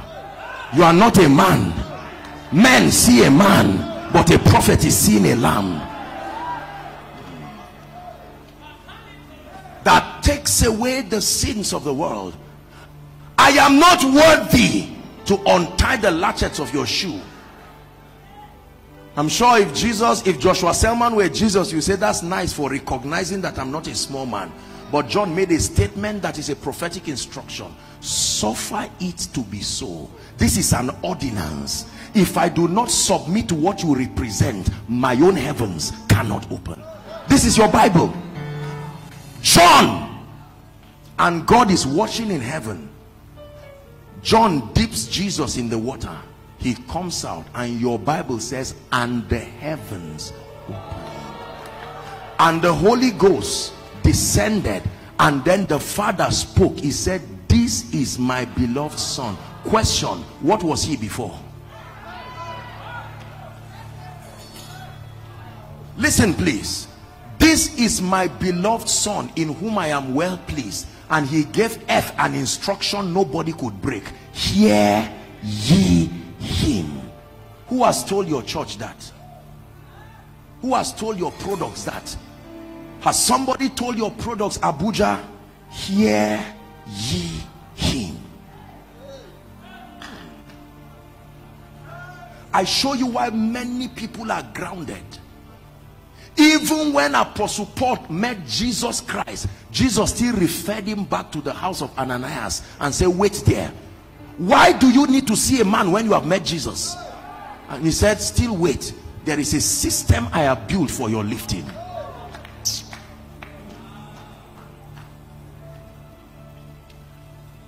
Let me show you a mystery. You see, the dimensions of God that are distributed to the earth for the edification of the saints happen through covenants. Let me explain to you what that means. Faith, healing, God hides his anointing primarily in men. Are we together? Now, the way God works it out is that he calls, he finds men in every dispensation and then through the sacrifice of alignment he enters a personal covenant with them. Not old testament not new testament. A covenant with them that becomes the legitimate platform for administering that dimension of his grace within the lifespan of that dispensation. Now when god finds such people he now refers them on earth as the custodians of that dimension of him any other person who must enjoy that dimension of him experientially must do it in recognition and alignment to those systems. They are not just men. They have become through covenant spiritual systems that administer dimensions of god. Are we together? Provided they are alive god will never ignore their office in reaching you with that dimension. Let me give you an instance. On earth today the spiritual system according to the wisdom of God that represents faith is Kenneth Copeland. Any man of God on earth that is operating faith that is tangible would have crossed that path to touch with that altar of alignment. The man that represents the healing ministry today on earth it doesn't mean he's the greatest healer. No. This is not about greatness it's about the election of grace of an individual who has become the spiritual conduit of a dimension. That individual today on earth is Benny Hinn. And that grace came upon him from Oral Roberts. Now, you need to, this is the protocol of lifting that many people do not understand. So when God says, I'm calling you into a healing ministry, I don't care how he starts dealing with you. One day, he is going to orchestrate. I mean healing ministry at a global level. One day he's going to create a meeting point where you and that spiritual system that administered that dimension you will collide. It's true.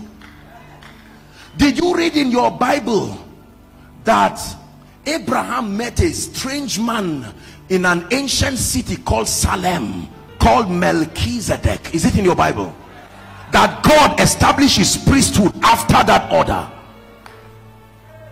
Melchizedek looked at Abraham and said blessed be Abraham son of the most high. He called him possessor of heaven and earth. Elijah was not a prophet. Elijah was a spiritual system that foreruns revival.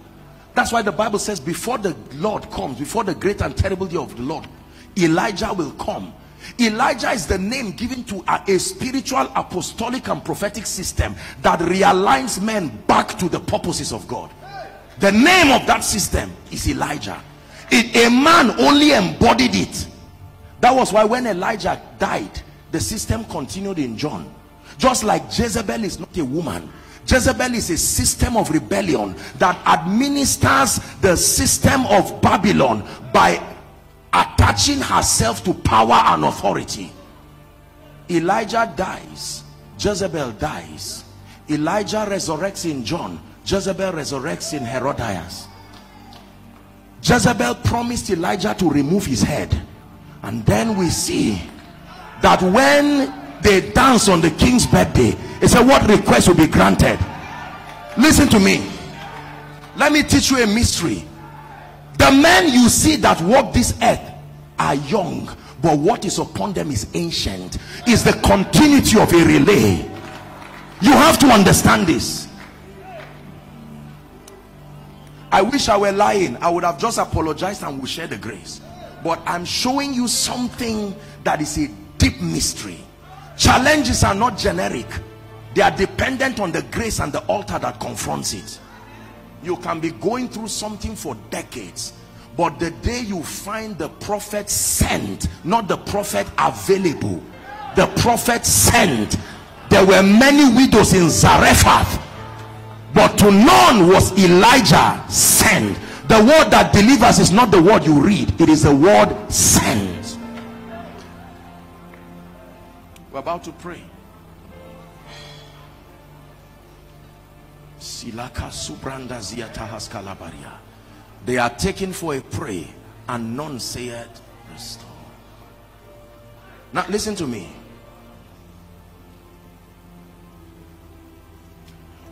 When you discern who your man of God is for as long as you think he's a man of God is a pastor and we are members of this church you will never receive anything. There must be a deep contemplation of discernment who is this man? Know we no man after the flesh. What are the mysteries that sit upon his head that are responsible for the possibilities in his life? It is based on that revelation that you stand to receive. You can kneel down and yet you are standing up. That that is just a, an emotional show. I mean a deep-seated recognition. I have met people that i know i was sent to and it's amazing how what they call challenges were trivialized happy are you when you find the anointing sent to you. Let me tell you this. Not every anointing available will lift you. Yes sir. All that you have given me john 17 i have kept and none is lost except the son of perdition. All that you have given me all that you have given me. Are we together? There are men of god that require i'm not just talking of someone higher than you speaking to you. There is a place for that. I'm not just talking of someone who is an elder in the faith just prophesying to you. There is a place for that. I'm talking of encountering the grace the spiritual covenant that is connected to your destiny. Ignorant people will fight what I'm saying to their peril. Listen I don't boast to know everything in the kingdom. I remain a student gleaning from the wisdom of men and women helped by God. But on this revelation I tell you it is an office. I know what I'm saying.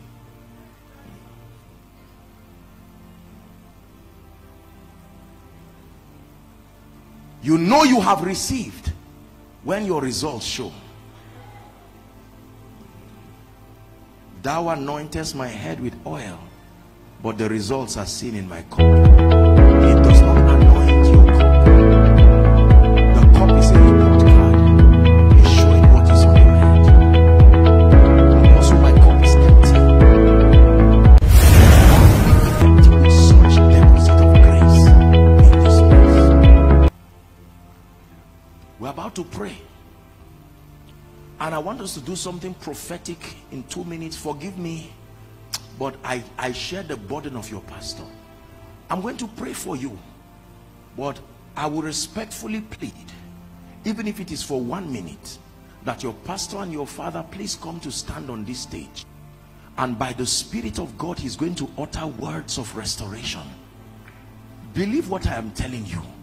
You will many of you tomorrow will not come until your life starts changing. It's true I didn't have time to do a thorough exegesis of the word. You will read the, the arrogance and the foolishness of men to the prophetic. The prophet says by this time tomorrow there are two dimensions of the prophetic. There is the revelatory dimension of the prophetic and there is the creative dimension of the prophetic. The most superior dimension of the prophetic revealed to men is the creative dimension. Revelation gives you direction and then it imparts faith creation makes what has no business happening to happen.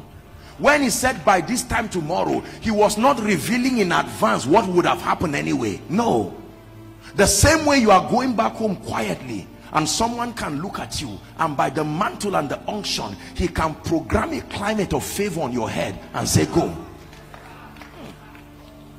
A man's donkey is missing for three days. They prayed and prayed and prayed and prayed and prayed and could not get the donkey.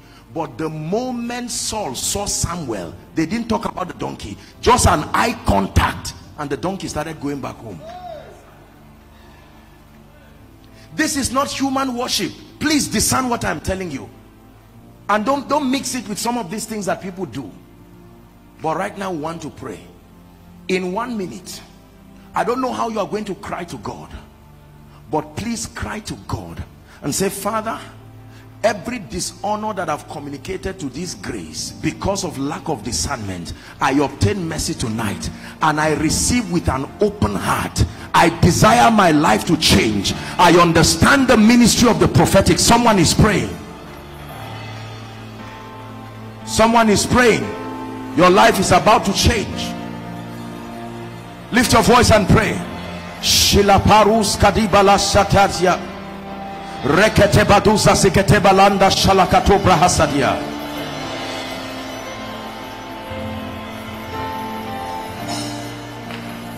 we're about to pray. What a life you will never be the same. Someone is praying. Father the grace to be broken the grace to examine myself. The grace to passionately pursue knowledge. The grace to discern and open up my heart and my spirit to the prophetic.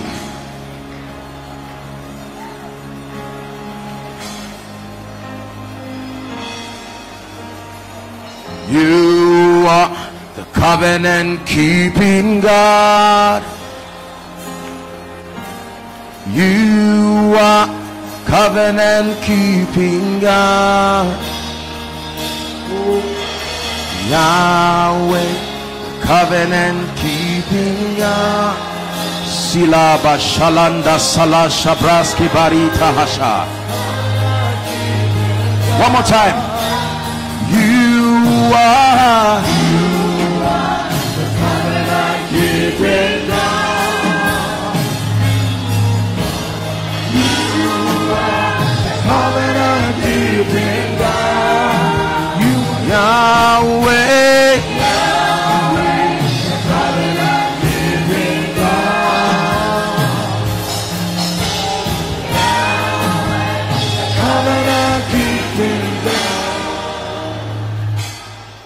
Let me speak over your life and then your pastor will come and speak again.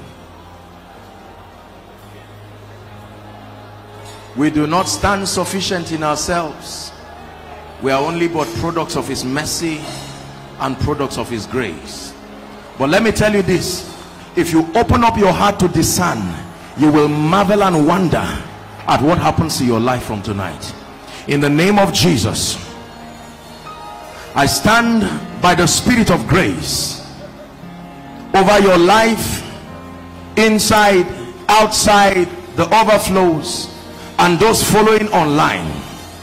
Every spiritually shilakata.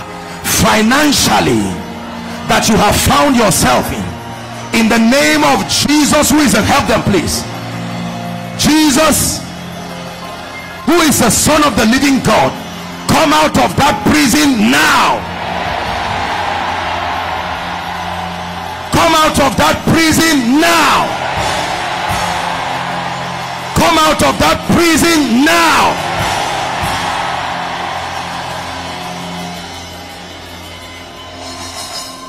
The bible says he has broken the gates of brass and cut the bars of iron in sunder. Every gate ancient gates ancestral gates locked up by witchcraft help them please. I'm prophesying to someone every altar that sits upon your destiny and will not let you go. You have fasted and you have prayed.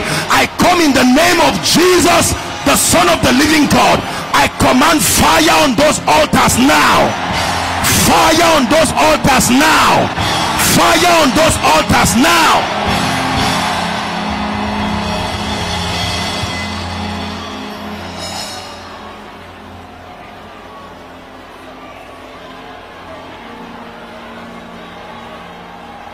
every opportunity you have lost. Every relationship you have lost. In the name of Jesus I call upon my God the restorer of time and I speak to you. Between now and the end of this year I stand by the rod of the apostolic and the prophetic. Recover now. Believe what you are hearing. Recover now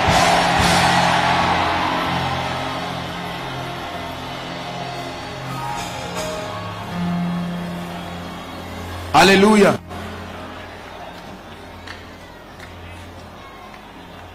And the king sent for joseph and they brought him out of his dungeon.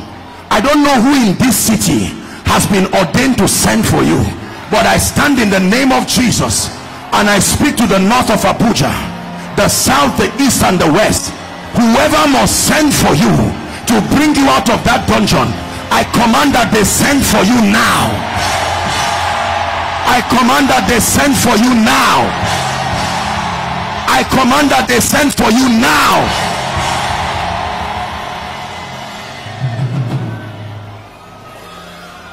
Everything that was lost shall be returned unto you. Everything that was stolen shall be restored unto you. Everything that was lost shall be returned unto you. Everything that was stolen.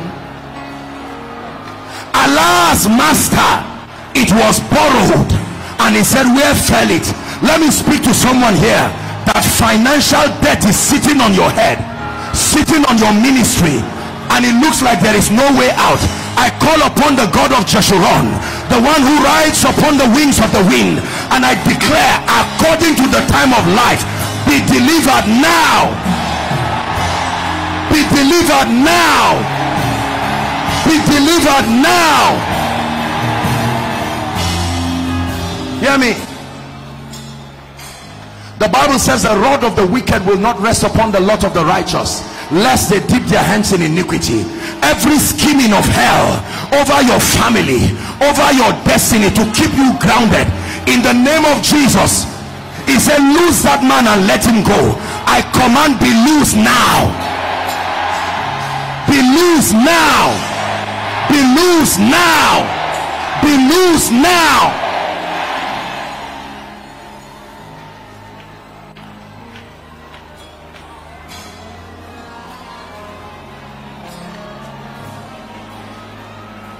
the psalmist said in psalm 3 many are they that rise up against me he said many are they which say where is thy help?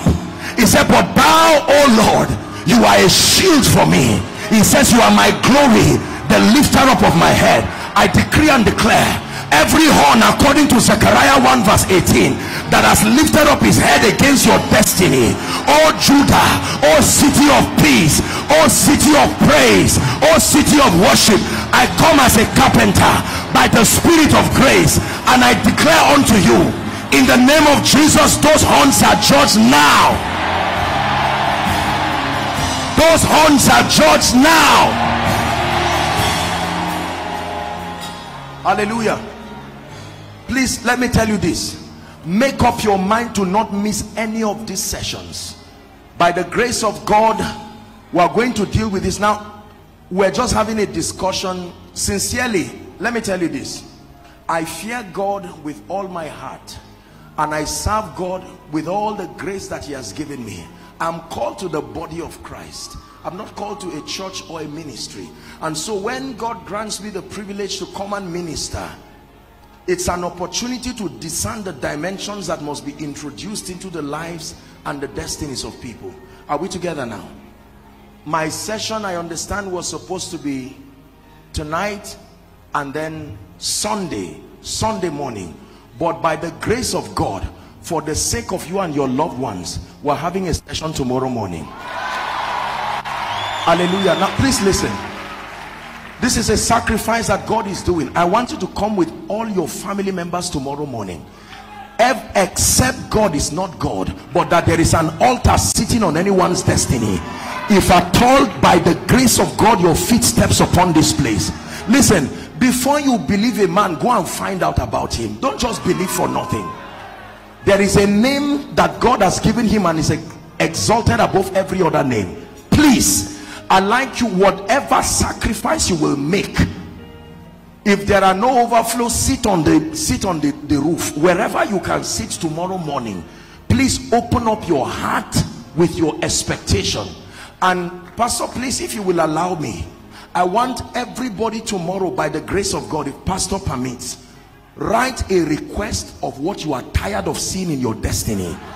Please i want to just obey this prophetic instruction those online or from whatever nation i want you to write it. You can send it. I'm sure the media team will be able to help out. Please write it. Tomorrow by the grace of god we will bring those those requests here that the god that answers by prayer here at word alive let him be god. Are we together now? Many of your loved ones probably they have been praying and saying lord give us a visitation. I'm lending my voice with that of your man of god and let god help us deal with issues here once and for all. Hallelujah. Are we together? What what time what time would that be? Nine o'clock. Nine on the dot. Please whatever time i'm sure that standing will not kill you. Come early open up your heart and your spirit. You know anyone in your life who you see patterns yokes of darkness and respectfully speaking even some of us men and women of God we know some of our colleagues and contemporaries who you look at their lives and you know that this is not a reflection of the glory of God. That your heart be open tomorrow. Do the work of an evangelist. This is not just some publicity for the sake of self-aggrandizement. It's a communication of passion. I know by the spirit that god wants to address issues in people's lives. Hallelujah. Tonight as you go i declare the grace you didn't come with may that grace rest upon you and go with you. And Samuel prophesied to Saul and said the donkey you are looking for has been found. Before you reach home some of you I decree and declare that what has been missing for a long time you will see it waiting for you. Number two he said you will see three men holding two loaves of bread they will salute you and give to you. I don't care who has rejected you and who refused to attend to the matters of your destiny but i stand upon this sacred altar. I compel them to attend to you. In the name of jesus. Many of you tonight by the spirit of god into tomorrow and the final session there are ancient giftings. Many of you have had dreams and revelations. You've seen some of these impartations for yourself and your ministry. This is the season where you come with your heart open to receive. And i pray for you that even beginning from tonight let god begin to do strange workings in your spirit. In the name of jesus christ. Please let's honor our father as he comes and just speaks over your life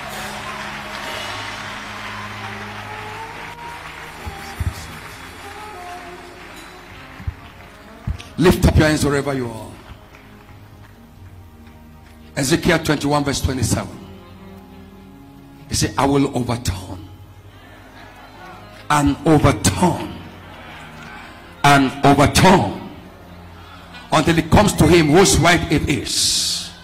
And I will give it to him. Lift up your hands.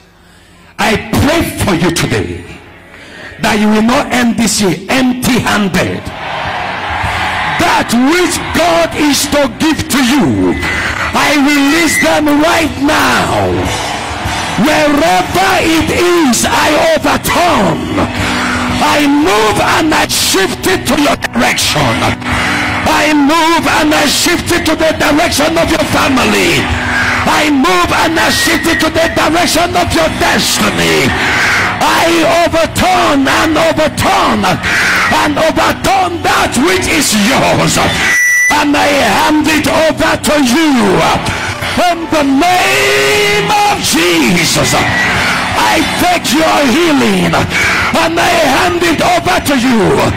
I take your favor and I hand it over to you any altar sitting on what is yours I unseat them now by fire any power sitting on what is yours I unseat them now by fire.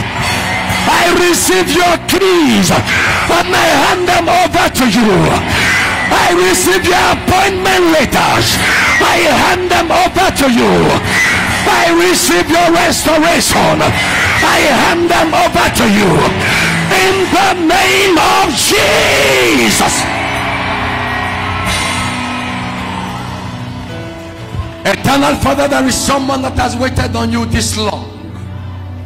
Not only waiting in the place of fasting, not only waiting in the place of even timing, you have waited in the place of patience and endurance. You despise shame, despise insult. They have asked you, Where is your God? Oh God, who made the heavens and the earth, the God of all flesh and the Father of all spirits show up today on behalf of your people. Show up today on behalf of your people. Show up oh god and roll away the reproach. Show up oh god and wipe away the tears. Show up oh god and take away the shame.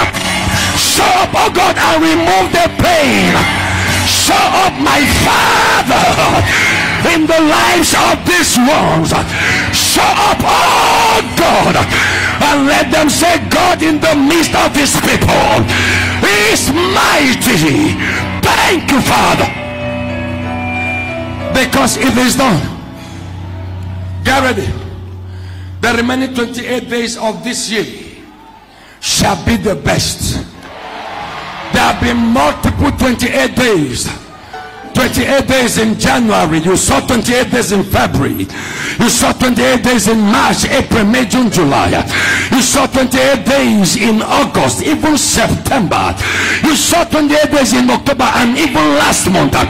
But share this tonight the last 28 days of this year, the remaining 28 days of this month, and this year, I decree upon your life that you shall put testimonies in your hand. They shall put new songs in your mouth. In the name of Jesus.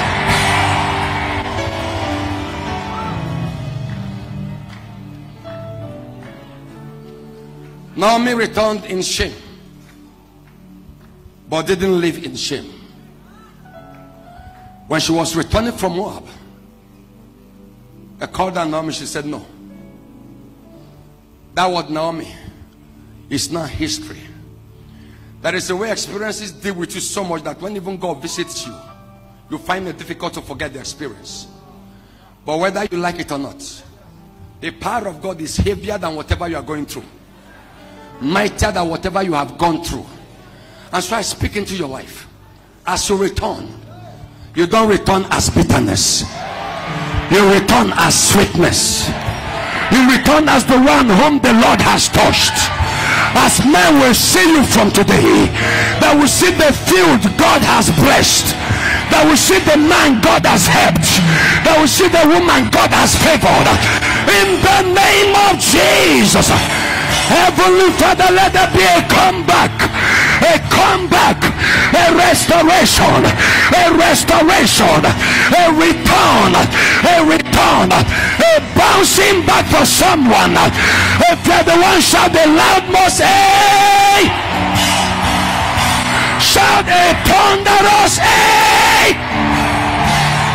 Shout the loudest, hey! Ah, yeah, yeah, yeah, yeah, yeah, yeah, yeah, There's somebody, there is a comeback for me. There is a comeback for me. I am bouncing back. There is a comeback for me. In the name of Jesus Christ. Begin to wave those hands unto the King of Kings and the Lord of Lords, Lagado Zobaya. Lift up your hands above the heads of your enemies. Let the Lord and raised higher and highly lifted up as honor unto him and praise unto him wherever you are. I prophesy upon your life by the anointing that makes God God that from this day your hand shall not be below your enemies. Your hand shall be upon the shoulders of your enemies. You will rule in dominion. You will rule in victory. You will rule with testimonies in the name of Jesus. The Lord should say to you, seasons have just changed. Seasons have shifted. Somebody stepping into their new seasons, whether you like it or not.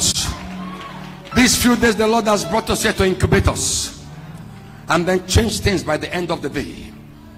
Don't miss out of tomorrow morning. It's going to be a blast an unusual supernatural blast. Sunday is going to be something else. Sunday is the grand finale. It's going to be awesome. It's both our thanksgiving and the opening of the next chapter of your life and my life. Praise the Lord. Get ready.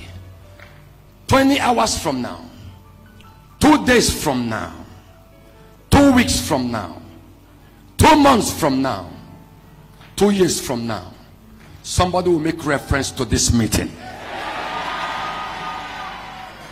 Where you will say, I met God at Bethel. You will make reference to it. We're going to close right now so that you can go home on time and prepare for tomorrow. By the grace of God. Two people I want to call. Number one, you say you're not born again. Let nobody go until we share the grace. Never you take, see, anytime you, you, you live before graces are shared, you are telling God how disrespectful you are towards Him. There are people hanging in the hospital right now who wish they were here. There are people in prisons right now who wish they were here. Are you understanding me? Are you understanding me? I was ministering like this online and in one of the hospitals, um, think one of our uh, the broadcasts, Somebody was in the hospital watching it on Facebook. And the person's cries, I wish I was in that meeting. If only I could leave this hospital bed. I wish I, I, I was in that meeting. That's the person's cry. Praise the Lord. What's the challenge? She wants to give her life to Christ. You want to hand the life over to Jesus. Pick your Bible and pick your bag. Just come out here quickly. You want to say, Lord Jesus, come into my life. This is a major moment in your life. Highly strategic, I mean, point in your destiny. Whether you are going to end up in darkness or be translated into light, this night will determine it. Whether it's going to be hell or heaven, this night will determine it. Whether you're going to be embarrassed and disgraced or you're going to seek glory and favor, this night determines it. Wherever you are, you want to give your life over to Jesus Christ. Pick your Bible and pick your bag. And step forward. Or you were once born again, but you backslided. Friends deceived you. The issues of life distracted you. And I want to say, Lord, I am ready to return. Pick your Bible, pick your bag, and join us quickly. Get that done quickly. Someone's knocking at the door. Someone's knocking at the door. Can you hear him knocking? Can you hear him knocking? Jesus knocking at your door. Wherever you are, join us. Jesus knocking at the door. Can you hear him knocking? Hear him knocking. Jesus, Jesus, Jesus, Jesus is at the door.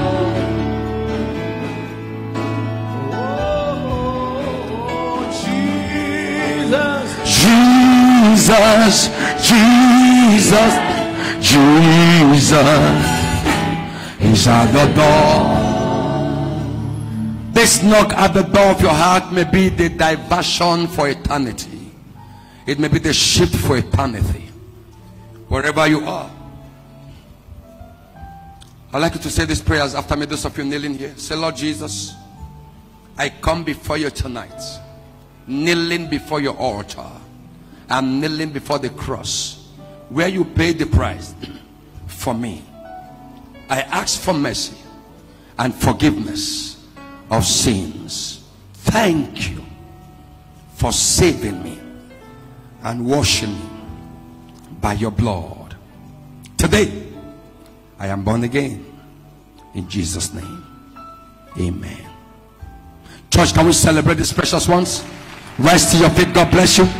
God bless you. God bless you. God bless you. I'd like you to walk up to that minister over there.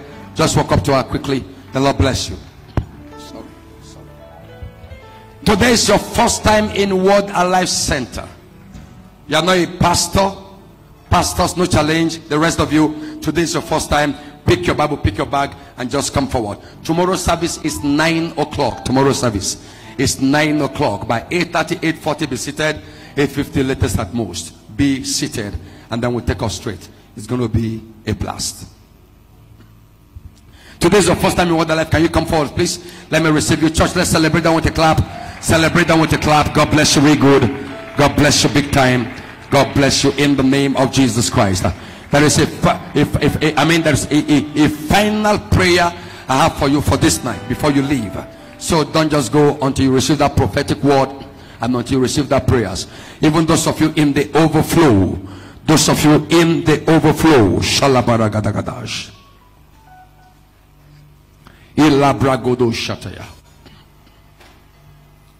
Hallelujah. Father, we bless you. Keep clapping for them. Awesome people, great people. God has got great plans for you, great plans for you, great plans for you, awesome plans for you. Keep clapping for them, keep clapping for them. Awesome God, awesome God. Thank you, Father. Rest your feet. Don't worry, just rest your feet. Rest your feet. I'll be meeting you in the waiting room. Just come forward. Just come forward. The Lord bless you really good. Church, can we celebrate the Lord? Even those of you in the overflow outside, you can join us here quickly. You can join us.